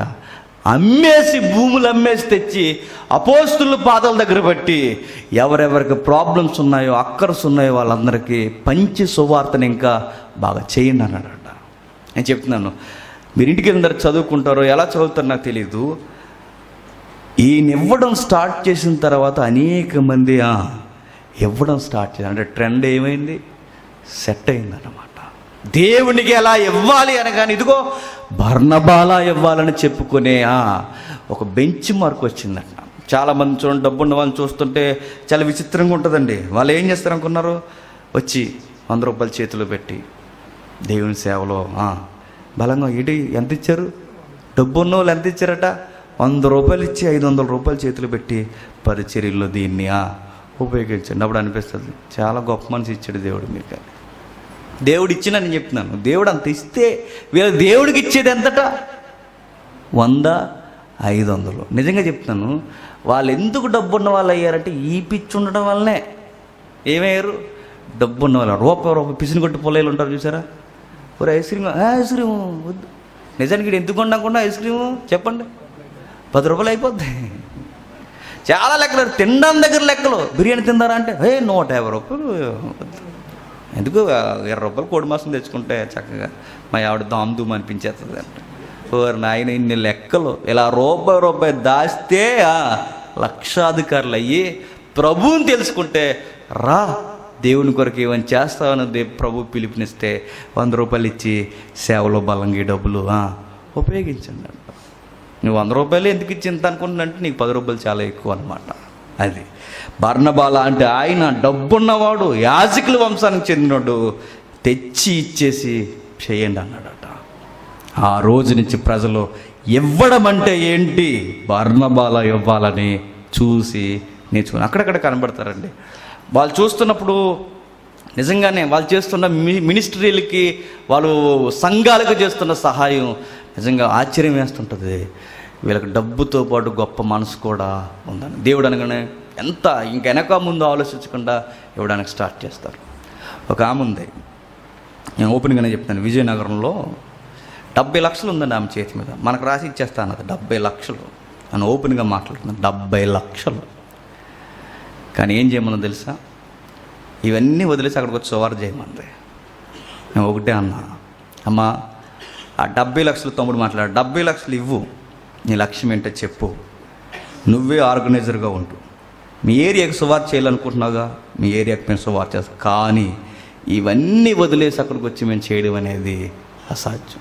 మీ ఏరియాకు సువార్త ఎంత అవసరమో మా సంఘానికి కూడా సువార్త అంత అవసరం. అప్పుడు ఏమంది చెప్పిన అయితే ఓసన్న మినిస్టర్ వాళ్ళకి ఇచ్చేస్తానది ఇచ్చేసుకుంటాను ఇచ్చేసుకుంది ఇచ్చేసుకోండి. ఆ తర్వాత వాళ్ళు అడిగారట మళ్ళీ మాట్లాడలేదు? అందరూ కాదు ఏమో ఆ ఏరియా. ఓసన్న వాళ్ళు నేను తప్పట్లేదు వాళ్ళు గొప్ప సేవ చేస్తారు. అందులో ఎవరు అన్నారట ఏమని? ముందు డాక్యుమెంట్స్ ఎక్కడ ఉన్నాయి చెప్పన్నారట. చూసారా? అలాంటి వారు చూడండి ఆమె వెళ్ళిపోయే టైంలో ఆమె సంపాదించిన నర్సింగ్ డిపార్ట్మెంట్లో ఆమె సంపాదించి డెబ్బై లక్షలు దాసి సేవ చేసిండు అంటుంది వెళ్ళిపోతాను ఇంకా రేపు రా- రేపు మాపున వెళ్ళిపోతాను వెళ్ళిపోయిన సేవ చేయండి అంటుంది. చూస్తుంది ఈ మెసేజ్ కూడా. అలాంటి వారు చూడండి అలాంటి వారు ఇచ్చేవాళ్ళు ఉంటారు చాలామంది. కానీ దాన్ని నమ్మకంగా చేసే సువార్థికులు చెప్పండి లేరు. ఆమె తృష్ణ ఏంటంటే ఇక్కడ రాదట ఇక్కడ ఉండదట అక్కడికి వెళ్ళిపోవాలట అందరం. అక్కడికి వెళ్ళిపోయి అక్కడ చేయాలట. అది కష్టం అని చెప్పాను. వీలైతే మీరు రండి తల్లిలా గుండెల్లో పెట్టుకు మేము చూసుకుంటాం. మీ ధనాన్ని దేవుని సేవలో గుర్తిస్తాం. తర్వాత చెప్తానంది చాలా కాలం అయింది చెప్పలేదు. చెప్పకపోయినా పర్లేదు. ఎందుకంటే మన బాధ్యతలు మనకి ఉన్నాయి. నెక్స్ట్ కేటగిరీ చూడండి నెక్స్ట్ కేటగిరీ ఐదో అధ్యాయం. నెక్స్ట్ కేటగిరీ ఐదో అధ్యాయం. మీరు మీకు ఇలాగ అర్థమవుతుంది అయ్యే అంటే ఈ లెక్కన జేమ్స్కి చెప్పండి. చాలా వచ్చేస్తుంది అన్నమాట చాలా ఏం రావట్లేదు. నా శాలరీ కూడా రావట్లేదు రండి చూడండి. నాకేం రావట్లా. నీటి కారులో తిరుగుతుంటే అది కార్పొరేషన్ లోన్లో వచ్చిన బండి అండి. ఇంకా దాన్ని చూసి ఇంక నన్ను ఇంకేమన్నా ఇంక మిమ్మల్ని నేను ఏమనలేను నెలకు వాయిదాలు లేక తిరుగుతుంది బండి వ్యవహారం అది. అది ఏం రాదండి నిజంగా చెప్తున్నాను. మీటింగ్ వెళ్తే ఇస్తారు కానుక ఇస్తారు. ఓపెన్గా చెప్తాను ఆ కానుకను కూడా సొంత ఖర్చులో జాగ్రత్తగా దాస్తా ఆ దాచిన దేవుని పనికి ఉపయోగించాలి. అంతే. ఎందుకంటే చాలా పెద్ద లక్ష్యాలు ఉన్నాయని ఓపెన్గా నేను చెప్పను చెప్పలేను. దాని కొరకు ఒక గురు ఉంది కనుక అవన్నీ జాగ్రత్తగా దాయడం జరుగుతుంది. అత్యవసరం ఎవరికైనా ఎమర్జెన్సీ అయితే ఆ డబ్బులు ఇవ్వడం అది విశ్వాసులుగా దేవునికి దగ్గరగా ఉంటే వాళ్ళకి ఇవ్వడం జరుగుతుంది. అలా ఇచ్చినవి ఎన్నో దేవుడు తెలుసు మాకు తెలుసు బైబిల్ తెలుసు. ఓకే. ఐదవ అధ్యాయం. ఐదో అధ్యాయం. ఎందుకంటే నా మీద ఈ నెపం ఉంది కనుక నేను ఓపెన్గా చెప్పాను. ఏదో వచ్చేస్తుంది జేమ్స్ కంటే. రాతో రండి. షుగర్ బీపీలు కూడా వచ్చేస్తాయి. నిద్ర లేకుండా అన్నీ వచ్చేస్తాయి. పొట్ట కూడా వచ్చేస్తుంది. రండి. నాతో పాటు రండి. అప్పుడు మీకు సగం సగం వాటాలు వేసేసుకుందాం. రండి. ఐదో అధ్యాయం పదహారు వచ్చిన ఐదో అధ్యాయం పదహారు వచ్చిన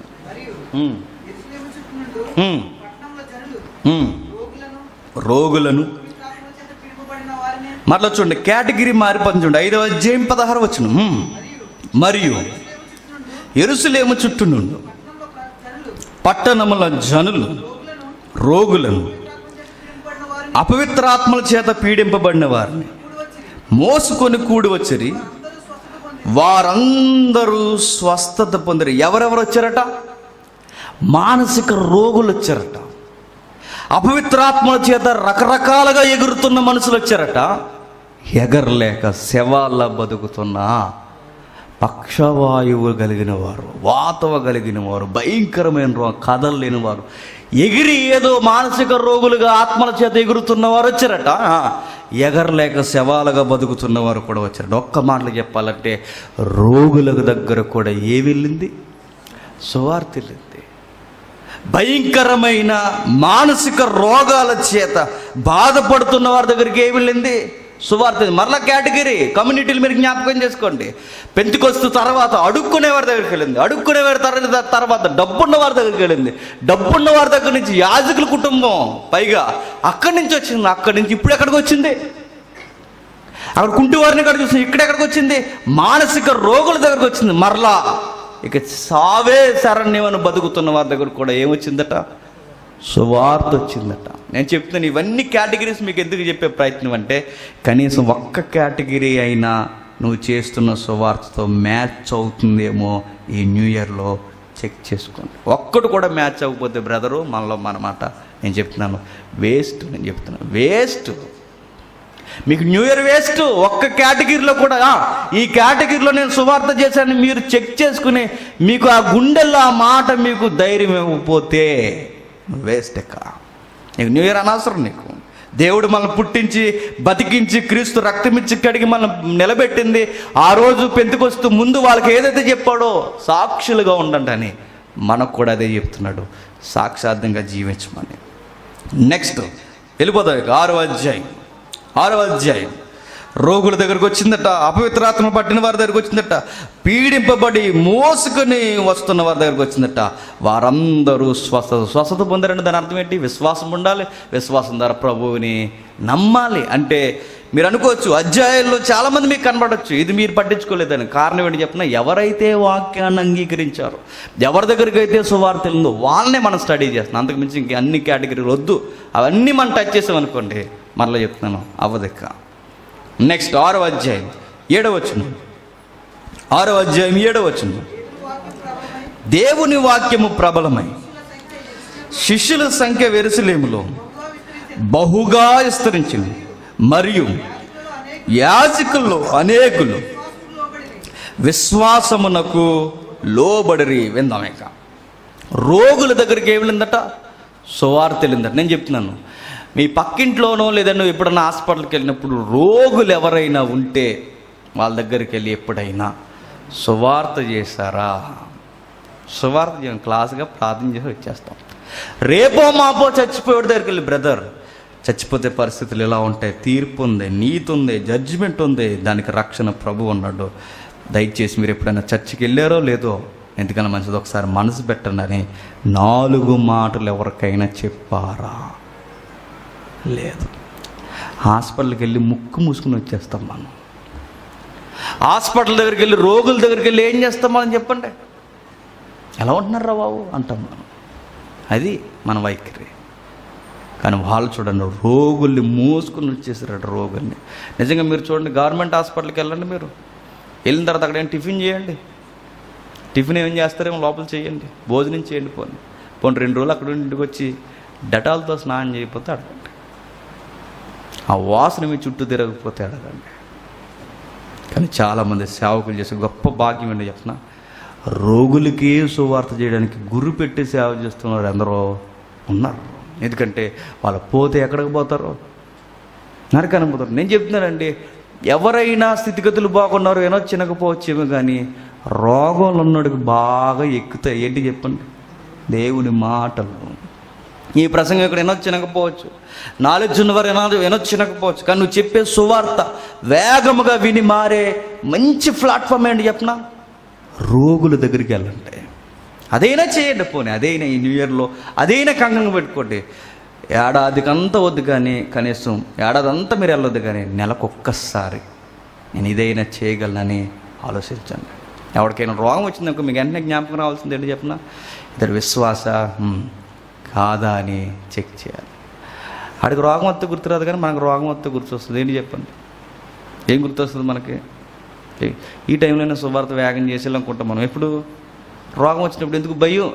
చచ్చిపోతామేమో అని భయం వేసేసి అప్పుడు ఏం చేస్తాం మనం? శుభార్త చేసేది అనుకుంటాను నేను చెప్తున్నాను. నీకు రోగం వచ్చింది ఎందుకు చెప్పనా? చెప్పండి. నువ్వు శుభార్త చేయట్లేదని. పోతే ఇలా ఉంటుంది అయ్యా అని చెప్పడానికి మనకి. నెక్స్ట్ ఇక్కడ ఎవరు మారారట? ముగించుకుందామా? కంటిన్యూ చేద్దామా? ముగించుకుందామని చిన్న మోగజైగా చెయ్యొద్దండి. ముగించుకుందాం అన్నాం. ఎత్తి తీడి ఏదోటి అంటాడని కదా? వీడు అసలే సెటరికల్గా ఉంటాడు అని. కొంచెం చెప్దాం అనుకున్న వాళ్ళు చేయొద్దండి చూసారా ఎత్తకపోయినా ఏదోటి అంటాడని కదా? మీకు విషయం చెప్పిన మీరు ఏమనుకున్న ఈరోజు చెప్పే తీరుతాను అన్నమాట ఆరో అధ్యాయం ఏడో వచ్చిన వీలైతే మీరు ఎంత ఫ్రీ కూర్చొని కాల్ చెప్పుకుంటారో తల కింద తపస్సు వజ్రాసనంలో కూడా వేస్తారు వేయండి. ఐ డోంట్ కేర్ మీరు మాత్రం వినాలి వినాలి వినాలి అంతే ఇక. వీలైతే కొంచెం ఇలా ఓపెన్గా మా అక్కలో చెల్లెలు తమ్ము అమ్మల్లా మాట్లాడుతున్నాను. కొంచెం పర్సనాలిటీ బిగ్గెస్ట్గా ఉన్నవారు సైడ్లో కూర్చోండి నో ప్రాబ్లం. ఏం పర్లేదు మీరు అలా లైన్గా వేసుకుని కూర్చోండి. ఏం పర్లేదు మీరు వినడం సౌఖ్యంగా వినడం మంచిది. ప్రార్థన చే ప్రార్థన చేసే సమయంలో మొక్కలేసి ప్రార్థన చేయండి. అలా కూర్చుని ఉండడం ఎంత కష్టంగా ఉంటుందో నాకు బాగా తెలుసు. ఓకే. ఆరో అధ్యాయం ఏడో వచ్చంలో దేవుని వాక్యం ప్రబలమై. శిష్యుల సంఖ్య. ఎరుసలేములో బహుగా విస్తరించను మరియు యాజకుల్లో అనేకులు విశ్వాసమునకు లోబడరు. యాజకుల్లో ఎవరు వచ్చారట క్రైస్తవులు వచ్చారట యాజకులు అనేకులు విన్నారట నేను చెప్తున్నాను. మనం చెబుతున్న సువార్త. సేవకులుగా అప్పటికే పిలువబడుతున్నారు బ్రదర్ మీ మెసేజ్ విన్న తర్వాత నేను మరీ సత్యపు వెలుగులోకి వచ్చానని ఎప్పుడైనా సాక్ష్యం మీ సువార్తకి విన్నారా? అందరిని అడుగుతున్నా మీరు చెప్పిన తర్వాత సువార్త పద్ధతి ఇది అని నేర్చుకున్న దైవజనులు ఎవరైనా ఉన్నారు. నిజానికి కాస్తంత దైవజనులుగా పిలువబడిన వారు వాక్యం వినమనండి. మీకు కనబడుతుందా? ఎక్కడైనా సంఘాలకు వెళ్ళండి. కరెక్ట్గా మెసేజ్ స్టార్ట్ చేయడానికి వెళ్ళిపోతారు. మీరు చూసారు ఎక్కడైనా? క్రిస్మస్ మీటింగ్స్కి వెళ్తుంటామా ఉప్పటి మీటింగ్స్కి వెళ్ళినప్పుడు వినరు దైవజనులు అక్కడ. వాళ్ళు ఎందుకు వినరంటే వీడు చెప్పేది మేము అంటే అందరి దృష్టిలో ఎలా ఉంటుంది? చీప్గా ఉంటుందని తక్కువగా ఉంటుందని వాళ్ళు లేచి వెళ్ళిపోతుంటారు. దైవజనులకు సహజంగా ఉండే భయంకరమైన ఆధ్యాత్మిక గర్వం ఏంట గర్వం ఏంటంటే ఎదుటోడు చెప్పేది చెప్పండి. వినరు. వినరు. వినడానికి ఒప్పుకోదా మనసు? ఎందుకంటే అహం ఏమవుద్ది? అడ్డొస్తుంది. అహం ఏమవుద్ది? దోబుచ్చులాడుతుంది ఆ టైంలో ఏదో ఒక యాక్టింగ్ కూడా చేయిస్తుంది ఆ రోజు ఆ రోజు ఎవరు మారిపోయారంటే అప్పటికే లేవీల్లో పెద్ద యాజకత్వం యాజకత్వంలో అనేకులు దైవజనులు ఏమయ్యారట? విశ్వాసాన్ని నమ్మి విశ్వసించి అనేకులు దేవుళ్ళలోకి వచ్చారు. మరి అప్పటి వరకు వాళ్ళు ఎక్కడున్నారు? దైవజనులే. కానీ సరి అయిన గాల్లో వాళ్ళు ఏమయ్యారు? లేరు. నేను చెప్తున్నానండి దైవజనులు ఏంటంటే మాట్లాడుకుంటున్నారా? నాలుగు ప్రసంగాలు చెప్పండి ఆడు వైఖరి ఎలా మారిపోద్దో చూడండి. మీరు చూడండి కావాలంటే. నాలుగు ప్రసంగాలు ఎక్కించి ఏదికి మీద నిలబెట్టి మాట్లాడించండి. వినరు. వినేంత అవకాశం వాళ్ళకి రాని వచ్చినా ఒప్పుకోరు. నాలుగు లైన్స్ తెలిస్తేనే మనకి ఎంత యాటిట్యూడ్ వస్తుంది? మరి అప్పుడప్పుడు మీకు ఏమనిపిస్తుంది ఇలాంటి దైవజల్లు మారాలంటే ఇలాంటి వారికి ఎలాంటి వాక్యం? చెప్పాలి. కేటగిరీ మారుతుంది. అడుక్కునే వారి దగ్గర నుంచి చెప్పండి. ఎక్కడికి వచ్చింది అయిపోయారక ఎక్కడికి వచ్చింది అడుక్కునే వారి దగ్గర నుంచి డబ్బున్న వారి దగ్గరకు వచ్చింది డబ్బున్న వారి దగ్గర నుంచి రోగుల దగ్గరకు వచ్చింది రోగుల దగ్గర నుంచి ఇప్పుడు ఎవరి దగ్గరకు వచ్చింది దైవజనుల దగ్గర చూడండి సువార్త ఏ కేటగిరీలో ఉన్న వారిని వదలడం లేదు చూడండి. అందరిని చుట్టుముడుతుంది. మనం అనుకుంటాం ఎలా చేస్తారు భూదిగంతాల వరకు సువార్త అంటే మెగా ఫ్యామిలీకైనా చేస్తారు. వెళ్తారు సువార్త. మీరు మీకు తెలియదు అనుకుంటున్నారా? మెసేజ్ అంతా అవనివ్వండి ఎలాంటి ఫిగర్స్ ఉన్నారు చూద్దరు కానీ. మెగా ఫ్యామిలీకి కూడా సువార్త వినపడదని మీరు అనుకుంటున్నారా? నేను చెప్తున్నాను దేవుడు ఇప్పటికే వాళ్ళ దగ్గరికి సువార్త తీసుకెళ్ళి ఉండాలి.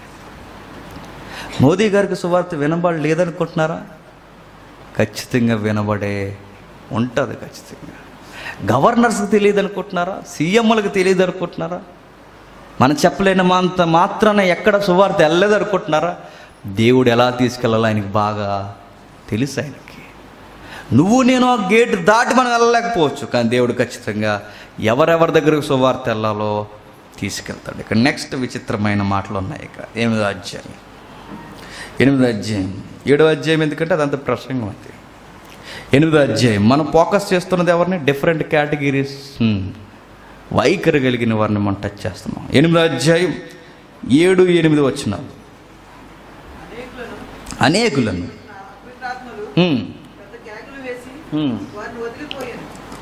అనేక అపవిత్రాత్మలు పట్టిన అపవిత్రాత్మలు వాళ్ళు వదిలి వెళ్ళిపోయాను. అది ఫస్ట్ ఇది టచ్ చేసేప్పుడు. అదే ఇప్పుడు వేసావుగా ఎనిమిదో అధ్యాయం. ఏడో వచ్చిన ఉంటాయి. అనేకులను పట్టిన అపవిత్రాత్మలు పెద్ద కేకలు వేసి వాళ్ళని వదిలిపోయాను. పక్షవాయువు గలవారు కుంటివారును అనేకులు స్వస్థత పొందిరి. అందుకు ఆ అందుకు ఆ పట్టణములో మిగులు సంతోషము కలిగిన ఇప్పుడు ఎవరు వస్తున్నారు మరలా? పట్టణం పట్టణమంతా వస్తుందట. ఏం చూసి పట్టణ పట్టణమంతా సంతోషపడిపోతుందంటే అపవిత్రాత్మలు పట్టిన వారు చెప్పండి. పక్షవాయువు గలవారు అంటే కదల్లేని వారు ఇలాంటి వారి దగ్గరికి వచ్చిన తర్వాత సిటీ సిటీ అంతా ఏమైందట? హ్యాపీ న్యూ ఇయర్ చెప్పుకుందట. ఏమైంది? ఇది న్యూ ఇయర్ విషెస్ అని చెప్పుకుని సంతోషంగా ఉన్నారట. మనం ఎప్పుడు సంతోషంగా ఉంటాం చెప్పండి. మనం పైకి దొంగలం కానీ మనకి హ్యాపీ న్యూ ఇయర్ అంటే చెప్పండి. ముగ్గేసేయాలని మనకి ఇంట్రెస్టే. మీరు అంత వద్దు. మనకి అలా అంటాం కానీ మనకి పొంగలు వస్తే ఎలా ఉంటుంది? మనకి పొంగుతాయి లోపల పొయ్యి మీద. ఏంటి చెప్పండి? ఒప్పుకోండి పర్లేదు. జరుగుతాయి ఒప్పు మన మన- మనకి పైకి వద్దంటాం కానీ మనకి హడావిడి ఎక్కువే. నాకు తెలిసిన ఈ మధ్యకాలంలో తెలిసింది ఏంటి చెప్పిన? మన క్రిస్మస్కి చాలామంది వాక్యం టైం ఎక్కువైతే తినరు కానీ నాటకాలు మాత్రం బాగా చూసారట. మన మన నార్త్ ఏరియాలో ఎక్కడది? అది. వాకి వినరు. మరి నాటకాలు ఎలా చూస్తున్నారు నాటకాలు కదా చూస్తారు. చూసారా? ఎంత విచిత్రం అంటే పట్టణం పట్టణం అంతా పట్టణం పట్టణం అంతా సంతోషించిందంట. సంతోషం అంటే వాళ్ళ న్యూ ఇయర్ జరిగినట్టుందట. నిజమైన సంతోషం. హృదయంలో ఎప్పుడు వస్తుంది కొత్త సంవత్సరం కాదు. పండగలు కాదు. నిజమైన సంతోషం ఏంటి చెప్పండి? వాక్యం వినబడితే సిటీ సిటీ హ్యాపీ ఫీల్ అవుతుంటా. ఆ రోజు అది జరిగింది. ఎనిమిది అధ్యాయం పదమూడు వచ్చిన దాటుకుంటూ వెళ్ళిపోదాం త్వర అప్పుడు సీమను కూడా. ఇంకా బాగా అర్థం కావాలంటే పదకొండు వచ్చి నుంచి. అప్ ఎవడతడు? గారిడీలు చేయు సీమోన్. గారిడీలు అంటే గారిడీలు అంటే ఏం చేస్తాడు? ఏం మాయ చేస్తాడు? ఏం చేస్తాడు? మాయ చేస్తాడు.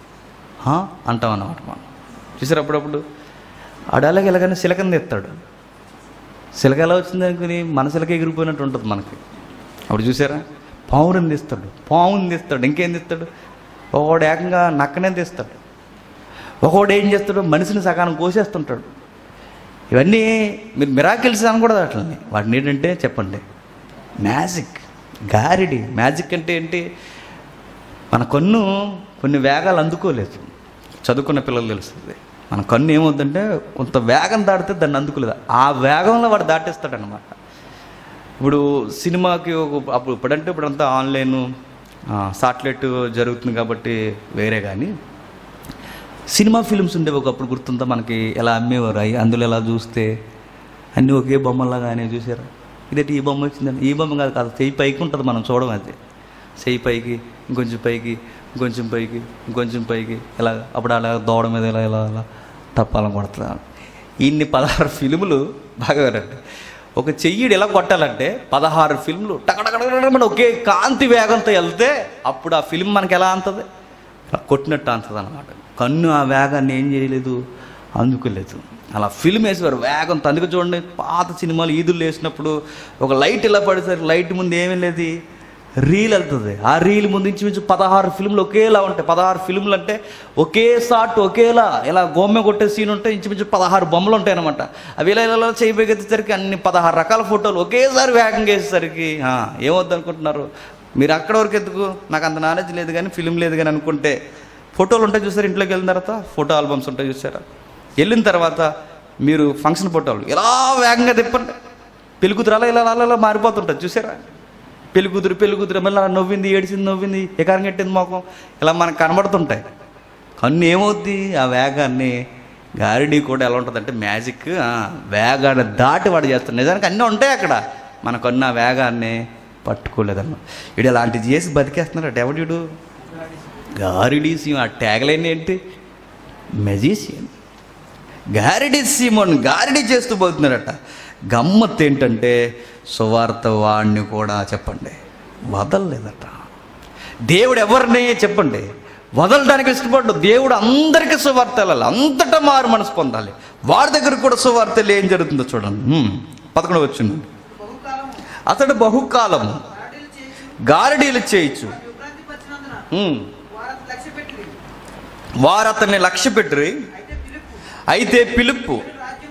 దేవుని రాజ్యమును గూర్చి నామమును యేసుక్రీస్తు నామమును గూర్చి సువార్త ప్రకటించుచుండగా వారు నమ్మి పురుషులను స్త్రీలను పొందిరి బాప్తిసం పొందిరి. అప్పుడు సీమోను కూడా నమ్మి బాప్ బాప్తిసం పొంది పిలిప్పుని ఎడబాయకుండి చూసి క్రియలు గొ- గొప్ప అద్భుత కార్యములు జరుగుడు చూసి విభ్రాంతి నందును ఎలాంటి కేటగిరీకి వెళ్ళిందట? ప్రజలందరినీ తన వైపుకి తిప్పుకునే టాలెంట్ ఉన్న మనిషి దగ్గరికి ఆ మనిషినే సువార్త ఏం చేసిందట?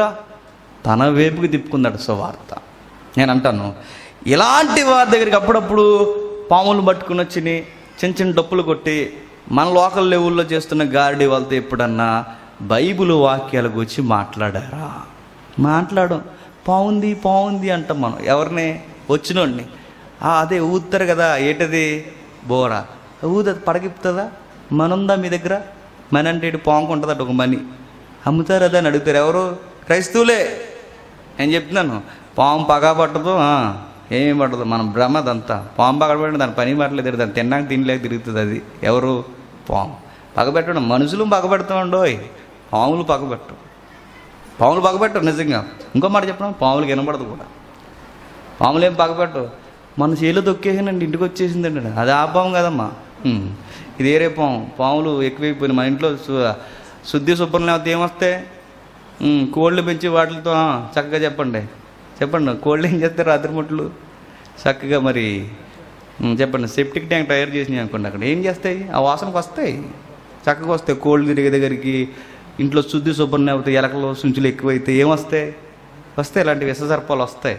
అందుకని పగబెట్టి ఏమి రావు పాము పగలబట్టవు ఇలాంటి వారు పాములతో బతికేస్తున్నవారు. నాలుగు రూపాయలని ఇలా తీసి ఇలా జల్లి మ్యాజిక్ చేస్తున్న వారి దగ్గరికి వెళ్ళి ఎప్పుడైనా సువార్త చేశారు. సువార్త చేయం వాడు చేసే చూస్తాం మనం. ఏమని? బాగా చేస్తున్నామని ఎవడో పొరగొనకు తెచ్చుకున్నాడు ఏంటది పాంపర ఎక్కడ పెట్టుకుంటే పెట్టులు పెట్టుకుంటేనట ఇంట్లో ఏ లంకి మిందులు దొరుకుతాయి అన్నాడట పామునే తెచ్చుకుంటే ఇంకా పెద్ద బిందులు దొరుకుతాయిగా? పెట్లు పెట్టుకుంటే పెట్లు పెడితే తల కింద పెట్టుకోమని పావును. ఇలా చుట్టుకుని ఇలా పావు అప్పుడు ఇలా కన్ను మీద ఇలా వేసుకుంటే టకా మన ఎంతది ఒకటి పెద్ద బిందు దొరుకుతుంది అనమాట పిచ్చి పనులు కదండి. అలాంటి వారికి ఎప్పుడైనా సువార్త చేశారా? ఇక ముగిస్తాను. మిగిలినది వచ్చే వారం చూద్దాం. ఎందుకంటే కొంచెం టైం బట్టేలా ఉంది. చివరిగా పదార్థాలకు ముగించేద్దాం. డీలోకేనా? పదార్థాలకు ముగించేద్దాం. ఎనిమిదో అధ్యాయం. ఎనిమిదో అధ్యాయం. ఇరవై ఏడవ వచ్చినాం అప్పుడు ఐతియోపీల రాణి అయిన అయి కందక క్రింద మంత్రి అయి ఆమెకు ధనాగారం అంతటి మీద ఉన్న ఐతియోపీల నపుంసకుడు ఆరాధించటకు ఎరుసులేమునకు ఆరాధించినప్పుడు వచ్చిన్ను ఎవరైనా ఎవరైనా ఈయన ఎవరండి? నపుంసకుడు. నపుంసకుడు అంటే పురుషుడు స్త్రీ కానివారు నేను చెప్తున్నాను ఇలాంటి వారు సంఘానికి వస్తే వాళ్ళ పక్కన కూర్చొని మీరు సువార్తను కూర్చి వాళ్ళతో మాట్లాడగలరా? వాళ్ళని చూస్తేనే అటకారం వచ్చేస్తుంది మనకి. నవ్వులు వచ్చేస్తే ఎక్కడలేని.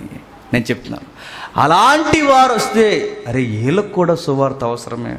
నపుంసుకులు ఎలా పుట్టారని అడుగుతారు చాలామంది. పాపానికి పరాకాష్ట ప్రకృతిలో దేవునికి విరుద్ధమైన పాపం రోజు రోజుకి పెట్టరేగిపోతే క్రమం తప్పిపోతే తల్లి గర్భం మార్పులు గురికి మార్పులకు గురైపోతే ఆ పాపానికి పరాకాష్ట స్త్రీ పురుషులు కానీ ఒక కొత్త జీవితాలు ఈ ప్రపంచంలోకి వచ్చాయి. ఆదాము తప్పు చేస్తే ముండ్ల పదలు వస్తాయని ఎంత వాస్తవమో! పాపం జరిగిన తర్వాత కొత్త రకం మనుషులు వచ్చారు. ఇది దేవుని చెప్పండి. చిత్తము కాదు. ఇది పెద్ద క్లాస్ అండి అది ఇప్పుడు అంత మాట్లాడడం కాదు. నపంసుకులకు కూడా వెళ్ళిందట. నపంసుకులకు సువార్త అవసరం అంటే అవసరం. ఇప్పుడు దేవుని దయ వలన అప్పుడప్పుడు నపంసుకులు సువార్త చేస్తే కనబడుతున్నారు. కానీ బాధ ఏంటి చెప్పిన? నపోసు నపంసుకులందరికీ మళ్ళీ ఒక సంఘం ఉంది. వాళ్ళందరి సంఘంతో ఉంటలా? ఎందుకు చెప్పిన? ఏదో భయం ఏదో తెలియని బాధ. కలవలేము కూర్చోలేము కానీ దేవుడు ఎవరిని కావాలనుకున్నాడట? సండులను కూడా కావాలనుకున్నాడట. సువార్తను ఎక్కడెక్కడ తీసుకెళ్తున్నా చూడండి. రకరకాలు మారిపోతుంది. ఇంతకుముందు ఎవరి దగ్గరికి వెళ్ళిన సువార్త? గారిడీ చేసేవారి దగ్గర ఇప్పుడు ఎవరి దగ్గరికి వచ్చింది? నపంసుడి దగ్గరికి. ఈయన ఎవరంటే? పొలిటీషియన్. ఎవరు? ఈయన. రాజకీయ అధికారం కలిగిన వాడు రాజరికపు జీవితంలో. ఇంకెవరంటే ఈయన? ఆఫ్రికా చీకటి ఖండంలో ఉన్న వ్యక్తి. ఒకే వ్యక్తికి సువార్త జరి- తెలిస్తే ఒకటే తనలాంటి జీవితం కలిగిన వారందరికీ ప్రభు తెలిసే అవకాశం ఉంది. రెండు చెప్పండి. పాలిటిక్స్ రాజకీయంలో ఉన్న కూడా సువార్త తెలిసే అవకాశం ఉంది. మూడు ఆ చీకటి ఖండాలకు కూడా రక్షకుడు వెలుగునిచ్చే అవకాశం ఉందే. ఒక వ్యక్తికి సువార్త వెళితే ఆ వ్యక్తి ఎన్ని విధాలుగా సువార్త తీసుకెళ్తాడో తెలియదు అని చెప్తున్నాను ఎప్పుడైనా మీ రాజకీయాలు పరిచయాల్లో తోటి రాజకీయ వ్యక్తులతో సువార్త చేశారు. న్యూ ఇయర్లో క్వశ్చన్స్ ఇవన్నీ. రా చెయ్యం మనం. ఏం చేస్తాం మనం వాళ్ళతో? రాజకీయ వ్యక్తులతో రాజకీయాలే చేస్తాం మనం. సువార్త చేస్తారా? నేను చెప్తున్నానండి ఒక పెద్ద రాజకీయ నాయకుడు ప్రతి వారం సంఘానికి వచ్చి సంఘంలో మంచి పాత్ర పోషించి వెళ్తున్నాడంటే ఆ సంఘం ఎలా ఉంటుంది చూడండి. ఎంత దీవింపడుతుంది ఆ సంఘం. ఎంత బాగుంటుంది ఒక రాజకీయ నాయకుడు. అలాంటి ఆయన వచ్చి సంఘంలో కూర్చొని వాక్యం విని వెళ్తున్నాడంటే ఒక నిజాయితీ రాజకీయం చేస్తున్నాడంటే ఎంత బాగుంటుంది వినడానికి. కారణం ఒకే ఒకటి ఏంటో చెప్పినా? మనం చేస్తున్న పనుబాట్లలో మన తోటి వారితో మనం ఏం చేయం? సువార్త గురించి మాట్లాడడం. రాజకీయాల దగ్గరికి వెళ్ళి రాజకీయాలే మాట్లాడతాం. అందుకే నేను చెప్తున్నాను. న్యూ ఇయర్ వచ్చినా ఏ ఏ సంవత్సరం వచ్చినా మన సువార్తని నిర్లక్ష్యం చేసేవారుగానే ఉన్నాం. ఆ ఒక్క వ్యక్తికి తెలిస్తే మూడు కేటగిరీస్కి వెళ్ళిందండి ఒకటి నపంసుకులకి రెండు పొలిటీషియన్స్కి మూడు అనాగారిన చెప్పండి. చీకటి ఖండంలో ఉన్న ఆఫ్రికాకి సువార్త వెళ్ళే అవకాశం ఉంది. మీరు మాట్లాడే నోరి మాట్లాడితే ఆ వ్యక్తి వెళ్ళి ఎక్కడ మాట్లాడతాడో మనకి తెలియదు. ఎవరెవరిని తీసుకొస్తారో కూడా తెలియదు. మరొకటి చివరి నుండి రెండోది. ఇంకా చివరిగా ముగించుకుందాం. తొమ్మిదవ అధ్యాయం. తొమ్మిదవ అధ్యాయం తొమ్మిదవ అధ్యాయం అనగానే క్రైస్తవులు గుర్తుండాలి. తొమ్మిదవ అధ్యాయం అనగానే వెంటనే ఒక వ్యక్తి గుర్తు రావాలి. ఎవరైనా? ఎవరైనా? ఎవరు గుర్తు రావట్లేదా? పౌలు గారు సౌలు గారు నేను చెప్తున్నాను. ఈ సౌలుకి మనం ఏమని పేరు అడుగుతాం ఈ బైబిల్ సర్వేలో ఈ అధ్యాయంలో ఇప్పుడు నపోంసుకులు దాటి సువార్త ఒక కొత్త కేటగిరీకి వస్తుంది సువార్త. ఈ సౌలుకి మనం ఏమని పేరు ఎడదాం అని అడుగుతున్నాను నేను. పోనీ నేను పెడతాను మీరు అంగీకరించండి. తీవ్రవాది అందామా? సరిపోతాడు దానికి? నిజంగానే తీవ్రవాది గుణగణాల్లో. మరొకటి ఎదుటోళ్ళని చంపుతాడు నేరస్తుడు అందామా? అనమనే బైబిల్ చెప్పింది. మూడు హింసకుడు అని రికార్డ్ చేసింది పైకి ఎలాంటి వాడి దగ్గరికి సువార్త వెళుతుంది అంటే జాలి కనికరం లేని ఒక తీవ్రవాది దగ్గరికి ఏ వెళ్ళిందట? సువార్త వెళ్ళింది. అంటున్నాను మన జీవితంలో ఎప్పుడూ చేయలేని సువార్తని చెప్పండి? చెప్పండి. తీవ్రవాదులకి చేస్తాం మనం. అంత తీవ్రత ఉంటే ఎక్కడ ఎందుకుంటాం? పాకిస్తాన్ బార్డర్లోనే ఉంటాం. తీవ్రవాదులకు ఎప్పుడైనా సువార్త చేస్తామా? నేరస్తులకి హింసకులకి దోషకులకి. నిజంగా జరిగిన ఒక ఫన్నీ ఈవెంట్ ఒకటి చెప్తాను వినండి. ఒకరోజు ఒక పాస్టర్ గారికి వచ్చిరాని హిందీ వచ్చట. వచ్చిరాని హిందీ వస్తే ఆర్ఎస్ఎస్ సంస్థలు ఉంటాయి వాళ్ళకి ఆఫీసులు ఉంటాయి బహిరంగంగా. అక్కడికి వెళ్ళి వాళ్ళ ముందుకు అంత ఎంత డేరో చూడడానికి వచ్చిరాని హిందీ వస్తే. ఆయన వెళ్ళి ఆ వచ్చిరాని హిందీతోనే ఆ మహారాష్ట్ర అనుకుంటా అక్కడ నిలబడి మాట్లాడేస్తున్నారట ఏమని నేను అందరూ పాపంలో ఉన్నారు అలా ఉన్నారు ఇలా ఉన్నారంటే వాళ్ళ ఆఫీస్ ముందు సువార్త చేస్తే వాళ్ళకి ఎలా ఉంటుందండి? పోనీ ఆయన మనకు ఫ్రెండ్ అయ్యి మన పక్కన ఎట్టుకుని సువార్త చేస్తే మనకి ఎలా ఉంటుంది? నీకు దండవరం బాబు నన్ను వదిలే అంటాం మనం. అను అను. ఇప్పుడు ఎక్కడైతే భయంకరమైన సెన్సిటివ్ ఏరియాస్ ఉన్నా ఆ ఏరియాకి వెళ్ళి సువార్త చేయండి. కష్టం అవుతుంది కానీ ఆయన వెళ్ళి నువ్వు ఓపెన్గా సువార్త చేస్తుంటే ఆ రోజు వాళ్ళు బయటకు వచ్చి ఏంటి మా ఆఫీస్ ముందు లొల్లి? అని చెప్పి లోపల తీసుకెళ్ళి కూర్చోబెట్టి ఏంటి ఏం మాట్లాడుతున్నావు? అని అడిగితే ఏం లేదు సార్ మీరు అందరూ పాపంలో ఉన్నారంట. అని అడిగారట. అవును సార్ మీరు అందరూ పాపంలో ఉన్నారు. అదే చెప్తున్నాను సార్ గేట్ ముందు నేను అదే మాట్లాడుతున్నాను సార్ గేట్ ముందు. నేను గేట్ ముందు మా సరే లేరా బాబు మేము పాపంలో ఉన్నా ఏం చేయాలి ఇప్పుడు అంటే? ప్రభు నేసుక్రీస్తు నమ్ముకుంటే ఆయన అమాయకత్వానికి ఆయన మాట్లాడుతున్న మాటలకు ఆయన వచ్చిరాని హిందీకి వాళ్ళు ఏమనలేక ఎందుకురా పోయి పోయి మా ఆఫీస్ ముందు మమ్మల్ని ఎంత అవమానిస్తున్నాం అన్నారట. కానీ గుర్తుపెట్టుకోండి వాళ్ళు విన్నారు. ఎలా? రక్షకుణ్ణి అంగీకరించాలని. ఎక్కడైతే ప్రభుకి విరుద్ధముగా కార్యాలు చేపడతారో అక్కడ కూడా సువార్త ఏమైంది? వెళ్ళిందంట. ఏం అనలేకపోయారు ఆయన. సరే కానీ చేస్తా చేస్తే కానీ మా ఆఫీస్ ముందు వద్దు పక్క ఇదులకి వెళ్ళి చేసుకో అన్నారట. వాళ్ళే చెప్పారట పక్క ఇదులకి వెళ్ళి బాగా వింటారని నేను చెప్తున్నాను చెప్పడం స్టార్ట్ చేయాలి కానీ దేవుడు వినే హృదయాలు మన చుట్టూ చెప్పండి. రెడీ చేస్తాడు. కదా చెప్పడం స్టార్టింగ్ ప్రాబ్లం ఉంది మనకి. చెప్పాలి నోరిప్పి చెబితే వింటారు వినేవాళ్ళు ఉంటారండి. వినేవాళ్ళు ఉంటారు. కానీ నోరిప్పం మనం. మనం ముందుగానే సర్టిఫికేట్ ఇస్తున్నాం. వాడికి చెప్పినా విండండి. అందుకే చెప్పలేదండి. అబ్బా ఎన్ని తెలివితేటలు మనకి. వాడు చెప్పినా విండండి. వాడు మొరటి స్వభావం అందుకే చెప్పలేదండి. దేవుడు అంటాడు నాకన్నా నీకు బాధ తెలుసురా అని అడిగితే ఏం చెప్తావు? నువ్వు అలాంటోడివే నువ్వేం పెద్ద ఈరుడు సూర్యుడు వరకు నువ్వేం నువ్వు మారలా? అలాంటి మారడు. మారుతారు నేను చెప్తున్నాను ఇంకో మన దగ్గర చాలా మంది తల్లులో అమ్మలు ఉన్నారు. అది అది చేసేవారు ఏంటది? ఏంటది చేసేవారు? తమ్మి కాలు సంబరం. ఎవరిని నిద్రనిచ్చేవారా? వాళ్ళందరూ చెప్పండి. ఎవరిని నిద్రనిచ్చేవారా? ఇంకో బాబాయ్ ఎవరు మన కాదు కాదు ఈ బాబాయ్. అదే మన సిక్కారు కదా. బాబాయ్ పేరు రావట్లేదు నాకు? అప్పన్న బాబాయ్. పేరు చూసారు? ఏం పేరు? అప్పన్న. జెండకే జిందాబాద్ మరి. సింహాద్రప్పన్న ఆయన ఎలా చేసేవారు అనుకున్నా అచ్చమ్మ అని ఒక బాంబు ఉండేది. ఎంత భయంకరమైన మూఢ విగ్రహారాధన జరిగేది తెలిసినప్పుడు మా ఏరియాలో. బాబాయ్ ఇంట్లో గట్ట మా పిన్ని ఆలో వచ్చినప్పుడు కూడా ఇంచుమించు జరిగింది. కాలు సంబరాలు జరిగేవి. ఈరోజు ఏమైంది? మారారు. దేవుడు ఏ టైంలో ఇదిగో మెరిసి వాళ్ళు కూడా వాళ్ళ తిరుపతి భక్తులు. వాళ్ళందరూ కూడా భయంకరంగా చేసేవారు. వాళ్ళందరూ ఎలా మారారు? మారతారు ఏదో ఒక మాట తాకుద్ది. నోరిప్పి మనం మాట్లాడాలి. అలాంటి వారితో మనం మాట్లాడే ప్రయత్నం చేయాలి. ఈయనెవరు? తీవ్రవాది నేరస్తుడు హింసకుడు. ఇలాంటి వాడు మారితే ఏమైందంటే చెప్పండి. క్రైస్తవ్యానికి నూతన వరవడొచ్చింది. అలాంటి వాడు మారిపోయాడు. నెక్స్ట్ అదే తొమ్మిదో అధ్యాయం ముప్పై తొమ్మిదో వచ్చిన ఇంకెవరి దగ్గరికి వెళ్ళిందో చూద్దాం. తొమ్మిదో అధ్యాయం ముప్పై తొమ్మిదో వచ్చిన పేతురు లేచగా ఆయనే పౌలు గారు. చూసారు ఎంత చక్కగా ఉన్నాడో? ఆయనే. తొమ్మిదో అధ్యాయం ముప్పై తొమ్మిదో వచ్చింది. పేతురు లేచి వారితో కూడా వెళ్ళి అక్కడ చేరినప్పుడు వారు మేడగదిలోనికి అతన్ని తీసుకుని వచ్చింది విధవరాలందరూ వచ్చి ఏడ్చుచు దోర్క తమతో కూడా కుట్టిన అంగీలను వస్త్రములను చూపించుచు అతని ఎదుట నిలిచిరి. ఆ రోజు ఏం జరుగుంటుంది చెప్పండి. అయ్యా విశ్వాస అండి విధవరాలండి. మేము ఒక మినిస్ట్రీ స్టార్ట్ చేసామండి. ఏదో పొట్ట పోసన కొరకు చిన్నగా కుట్టు పనులు చేసుకుంటున్నామండి. ఇప్పుడు మనం మాట్లాడుకోవాల్సిన మాట. కుట్టు పని చేతు కుట్లు కుట్టు పని బట్ట నేసేవారి దగ్గర కూడా ఏమి లేదట?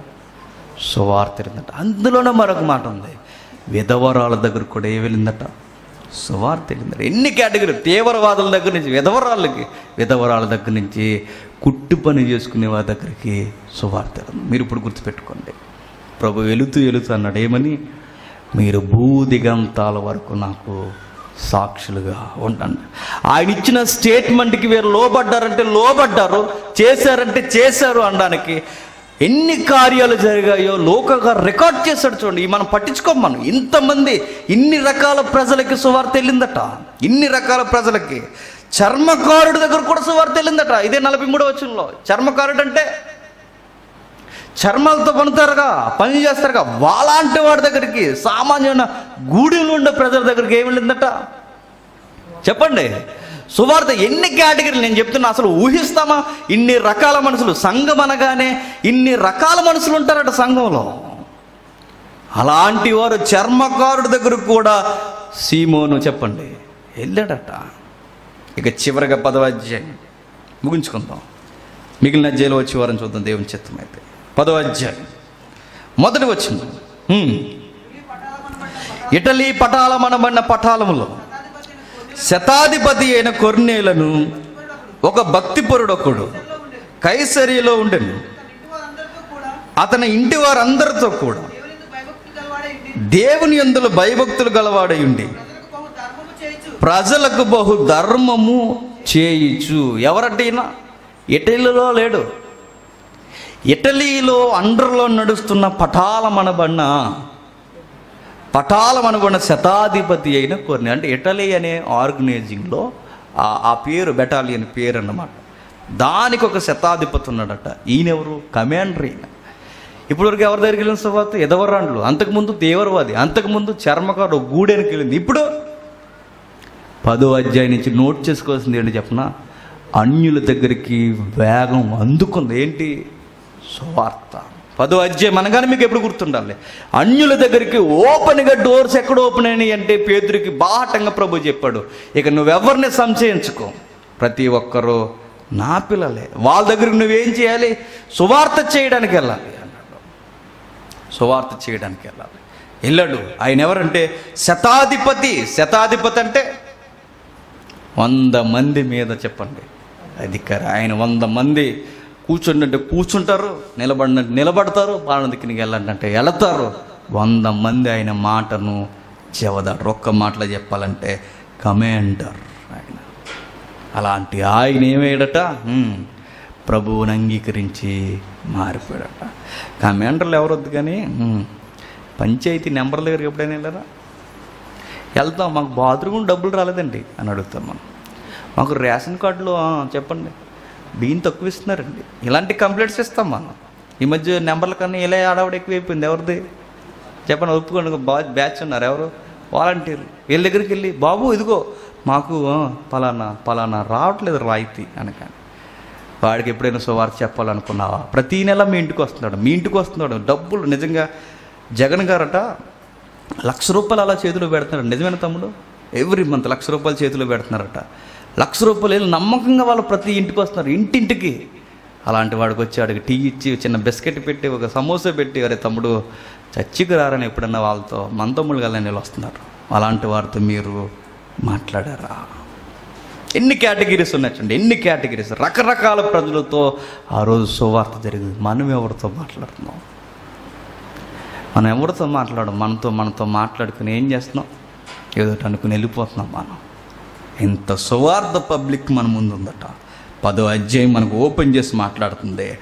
రకరకాల మనుషులు దేవుని కొరకు పరిగెట్టడానికి రెడీగా ఉన్నారు రెడీగా ఉన్నారు. ఇక చివరగా పదో అధ్యాయంతో మనం ముగిస్తూ పదకొండు అధ్యాయం నుండి వచ్చే వారిని చూద్దాం.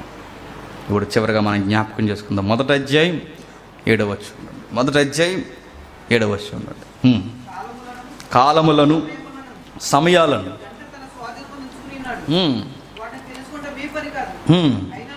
అయినను. పరిశుద్ధాత్మ మీ మీదకి వచ్చినప్పుడు. మీరు సత్ శక్తి నొందెదరు కనుక మీరు ఎరుసలేములో. యోదయ. సమరయ దేశముల అంతటా దిగంతల వరకు భూ దిగంతాల వరకు సాక్షులై నాకు సాక్షులే ఇందురు ఎక్కడ ఆగిపోయింది సంఘం అంతా? పరిశుద్ధాత్మ వస్తాడని కూడా ఆగిపోయింది? పరిశుద్ధాత్ముడు వచ్చాడు. కదలండి అన్నది గాలి కుదిలేశారు. చెప్పండి అన్నది గాలి కుదిలేశారు. సాక్ష్యంగా ఉండండి అన్నది గాలి కుదిలేశారు. మరి ఏం చేస్తున్నారంటే వస్తుంది అనేది ఒక ఫీలింగ్లో బతుకుతున్నారు. పరిశుద్ధాత్ముడు ఉన్నాడు అనడానికి గుర్తుల్లో గుర్తు ఏంటి చెప్పిన? చాలా రకాల గుర్తులు ఉన్నాయి. ఒక గుర్తు ఏంటి చెప్పిన? ఇల్లు వదిలి కదిలి బయటికి వెళ్ళి ఏం మాట్లాడతాం? సాక్షార్థముగా సువార్త మాట. ఇది పరిశుద్ధాత్మ పరిశుద్ధాత్మ ఉన్నాడు అనగానే ఏదో ఎవరితో మాట్లాడకుండా మౌనంగా ఉండి ఆయన ఆత్మచేత నడిపింపబడుతున్నాడండి. అది కాదు పరిశుద్ధాత్మ. పరిశుద్ధాత్ముడు ఉన్నాడు అనడానికి గుర్తు ఏంటంటే సువార్త పని చేస్తాం. ఎంత చెప్పినా ఏడిసేవలే అని మీరు అనుకుంటే. పరిశుద్ధాత్మ మీ దగ్గర చెప్పండి. లేదని ఇంక దాని అర్థం. అంతకు మించి నేను ఓపెన్గా మాట్లాడలేను కానీ ఒకరోజు మాత్రం అర్థం వద్దండి అందరం చచ్చిపోతాం చూసారా? నిజంగా చచ్చిపోం చచ్చిపోని చెప్పండి. చచ్చిపోతాం మనం అందరం. ఆ రోజు నిలబడతాం చూసారా? అందరు నిలబడతాం చూశారు అందరూ వెళ్ళిపోతుంటారు మన సంఘం నుంచి అక్కడికి. ఎవరైతే నిర్లక్ష్యంగా ఉన్నారో అలా నేరాలతో చూసారో వాళ్ళ ప్రభు అందరికి అవార్డు చేస్తున్నప్పుడు సత్కారం జరుగుతున్నప్పుడు కిరీటాలు పెడుతున్నప్పుడు మీ బోడు మకాలకు మాత్రం ఏం పెట్టకపోతే ఆ రోజు కూడా మొహం ఏకారంగా పెట్టుకుని ప్రభు మరి నాకు చిన్న గిఫ్ట్ కూడా లేదంటే క్రిస్మస్ గిఫ్ట్ కూడా లేదని చెప్పాడు ఎవరు? దేవుడు. ఎందుకు నీకు ఎవరో చెప్పినా నువ్వేమీ చెప్పు చేయలేదు. ఏమి చేయనప్పుడు నీకెంత గిఫ్ట్ అని అడుగుతాడు దేవుడు. ఆ రోజు సిగ్గుపడి తీసుకుంటున్న వారిని చూసి నేను చెప్తాను ఏడుస్తూ బతకను. నేను చెప్తున్నాను సువార్త ఎక్కడ నిలబడి మాట్లాడడం కాదు సువార్త ఎక్కడికి వెళ్ళి మాట్లాడడం కాదు. ఇన్ని కేటగిరీస్లో ఒక్క కేటగిరీ మీ లైఫ్లో టచ్ అవుదా చెప్పండి. టచ్ అవుతుంది అడుక్కున్న మీ ఇంటికి రాలా? మాట్లాడరు ఎప్పుడైనా? మాట్లాడరు రోగులు మీకు కనబడలా? మాట్లాడారా? మాట్లాడు. అధికారులు అప్పుడప్పుడు మీ ఇంటికి రాలా? మాట్లాడారా? మాట్లాడరు ఇదే కేటగిరీ మీరు చేయరు కుంటివారు గుడ్డివారు అమాయకులు విగత జీవులు కనబడలేదు కనబడ్డారు. కానీ మాట్లాడడం మనం ఎందుకు మాట్లాడడం చెప్పినా అసలు సువార్త చేయాలన్న భారం మనకు లేదు కనుకే వారు రక్షణ పొందవలసిన ఆత్మలన్న దృష్టి మనకి కనబట్టలేదు కనుక ఎవరితో మనం ఏం చేయం? మాట్లాడడం కాబట్టి దేవుని పిల్లారా ఇంకా మనకు మిగిలిన ఇంకా పద్దెనిమిది అధ్యాయాలు ఉన్నాయి. వీలైతే వచ్చే వారం చూద్దాం. ప్రార్థన చేయండి. ప్రార్థన చేసుకుందాం. పరలోకమందున మా తండ్రి దేవా మీ కుమారుడు ఇచ్చిన బాధ్యతను తండ్రి ఆది సంఘము తండ్రి. వారు మాట్లాడడం ప్రారంభిస్తే తండ్రి రకరకాల మనుషులకు మీరు సువార్తను తీసుకెళ్ళారు. తండ్రి ఎన్ని అవకాశాలు మా కళ్ళ ముందున్నా సంవత్సరాల సంవత్సరాలు గతించుకుపోతున్న తండ్రి. తండ్రి అనేక ఆత్మలు మా కళ్ళ ముందు తిరుగుతున్నాయి ఎవరిని తండ్రి వీరి సత్యానికి దగ్గర లేరే అన్న బాధ తండ్రి మా గుండెల్లో లేదు అసలు ఆలోచనే లేదు తండ్రి. ఈ నూతన సంవత్సరాలు అయిన తండ్రి మాకు బాధ్యతలు నేర్పించండి. సువార్తను చేయాలని మా గుండెల్లో తండ్రి తీవ్రతను పుట్టించండి. ఇన్ని రకాల మనుషులకు తండ్రి పరిశుద్ధాత్మను కలిగిన వారికి తండ్రి వారు వార్తలు మోసుకుపోయారు. మేము కూడా తండ్రి మా తోటి ఉద్యోగస్తులతో మా తోటి పనివారితో మా ఈదుల్లో తిరుగుతున్న వారితో విగత జీవులతో అధికారులతో అన్యాయం జరిగిన వారితో నేరస్తులతో దొంగలతో అందరితో తండ్రి మాట్లాడే జ్ఞానమును మాకు అనుగ్రహించండి. మా ఎదుట ఏ కొత్త మనుష్యుడు వచ్చినా తండ్రి ఏదో ఒక విధముగా సువార్తను వినిపించడానికి చక్కటి సంభాషణ పరిస్థితిని తండ్రి మాకు నెలకొల్పండి. ఒకవేళ మేము మర్చిపోతే తండ్రి ఆ తీవ్రతను మాకు రేపండి. ఈ గురిని మేము పెట్టుకున్న తండ్రి సంగముగా విస్తరించే భాగ్యం మాకు అనుగ్రహిస్తారని కోరుతూ వచ్చిన వారిని వింటున్న వారందరినీ మీరు దీవించండి. ప్రత్యక్షంగా పరోక్షంగా ఉన్న వారందరినీ తండ్రి మీ చేతులుగా అప్పగిస్తున్న ఈ భయంకరమైన వ్యాధుల్లో తండ్రి ఏ రోజు ఏమైపోతామో తెలియదు దేవా. మీ కుమారుణ్ణి రాక స్పష్టత తండ్రి సంఘానికి కనిపిస్తుంది దేవా. ఆ తీవ్రతలో బతుకుతున్న మేము తండ్రి ఆయన రావచ్చు లేదా మేము వెళ్ళిపోవచ్చు. రెండింటిలో ఏది జరిగిన తండ్రి బల అనే శబ్దానికి మేము కూడా అర్హులమే. అన్న సాక్ష్యాన్ని పొందుకునే తండ్రి ధైర్యాన్ని విశ్వాసాన్ని మాకు మా అందరికీ ప్రసాదిస్తారని కోరుతూ అందరినీ మీ చేతుల్లో పెడుతూ క్రీస్తున్నామని ప్రార్థన సమర్పిస్తున్నాం తండ్రి. ఆమె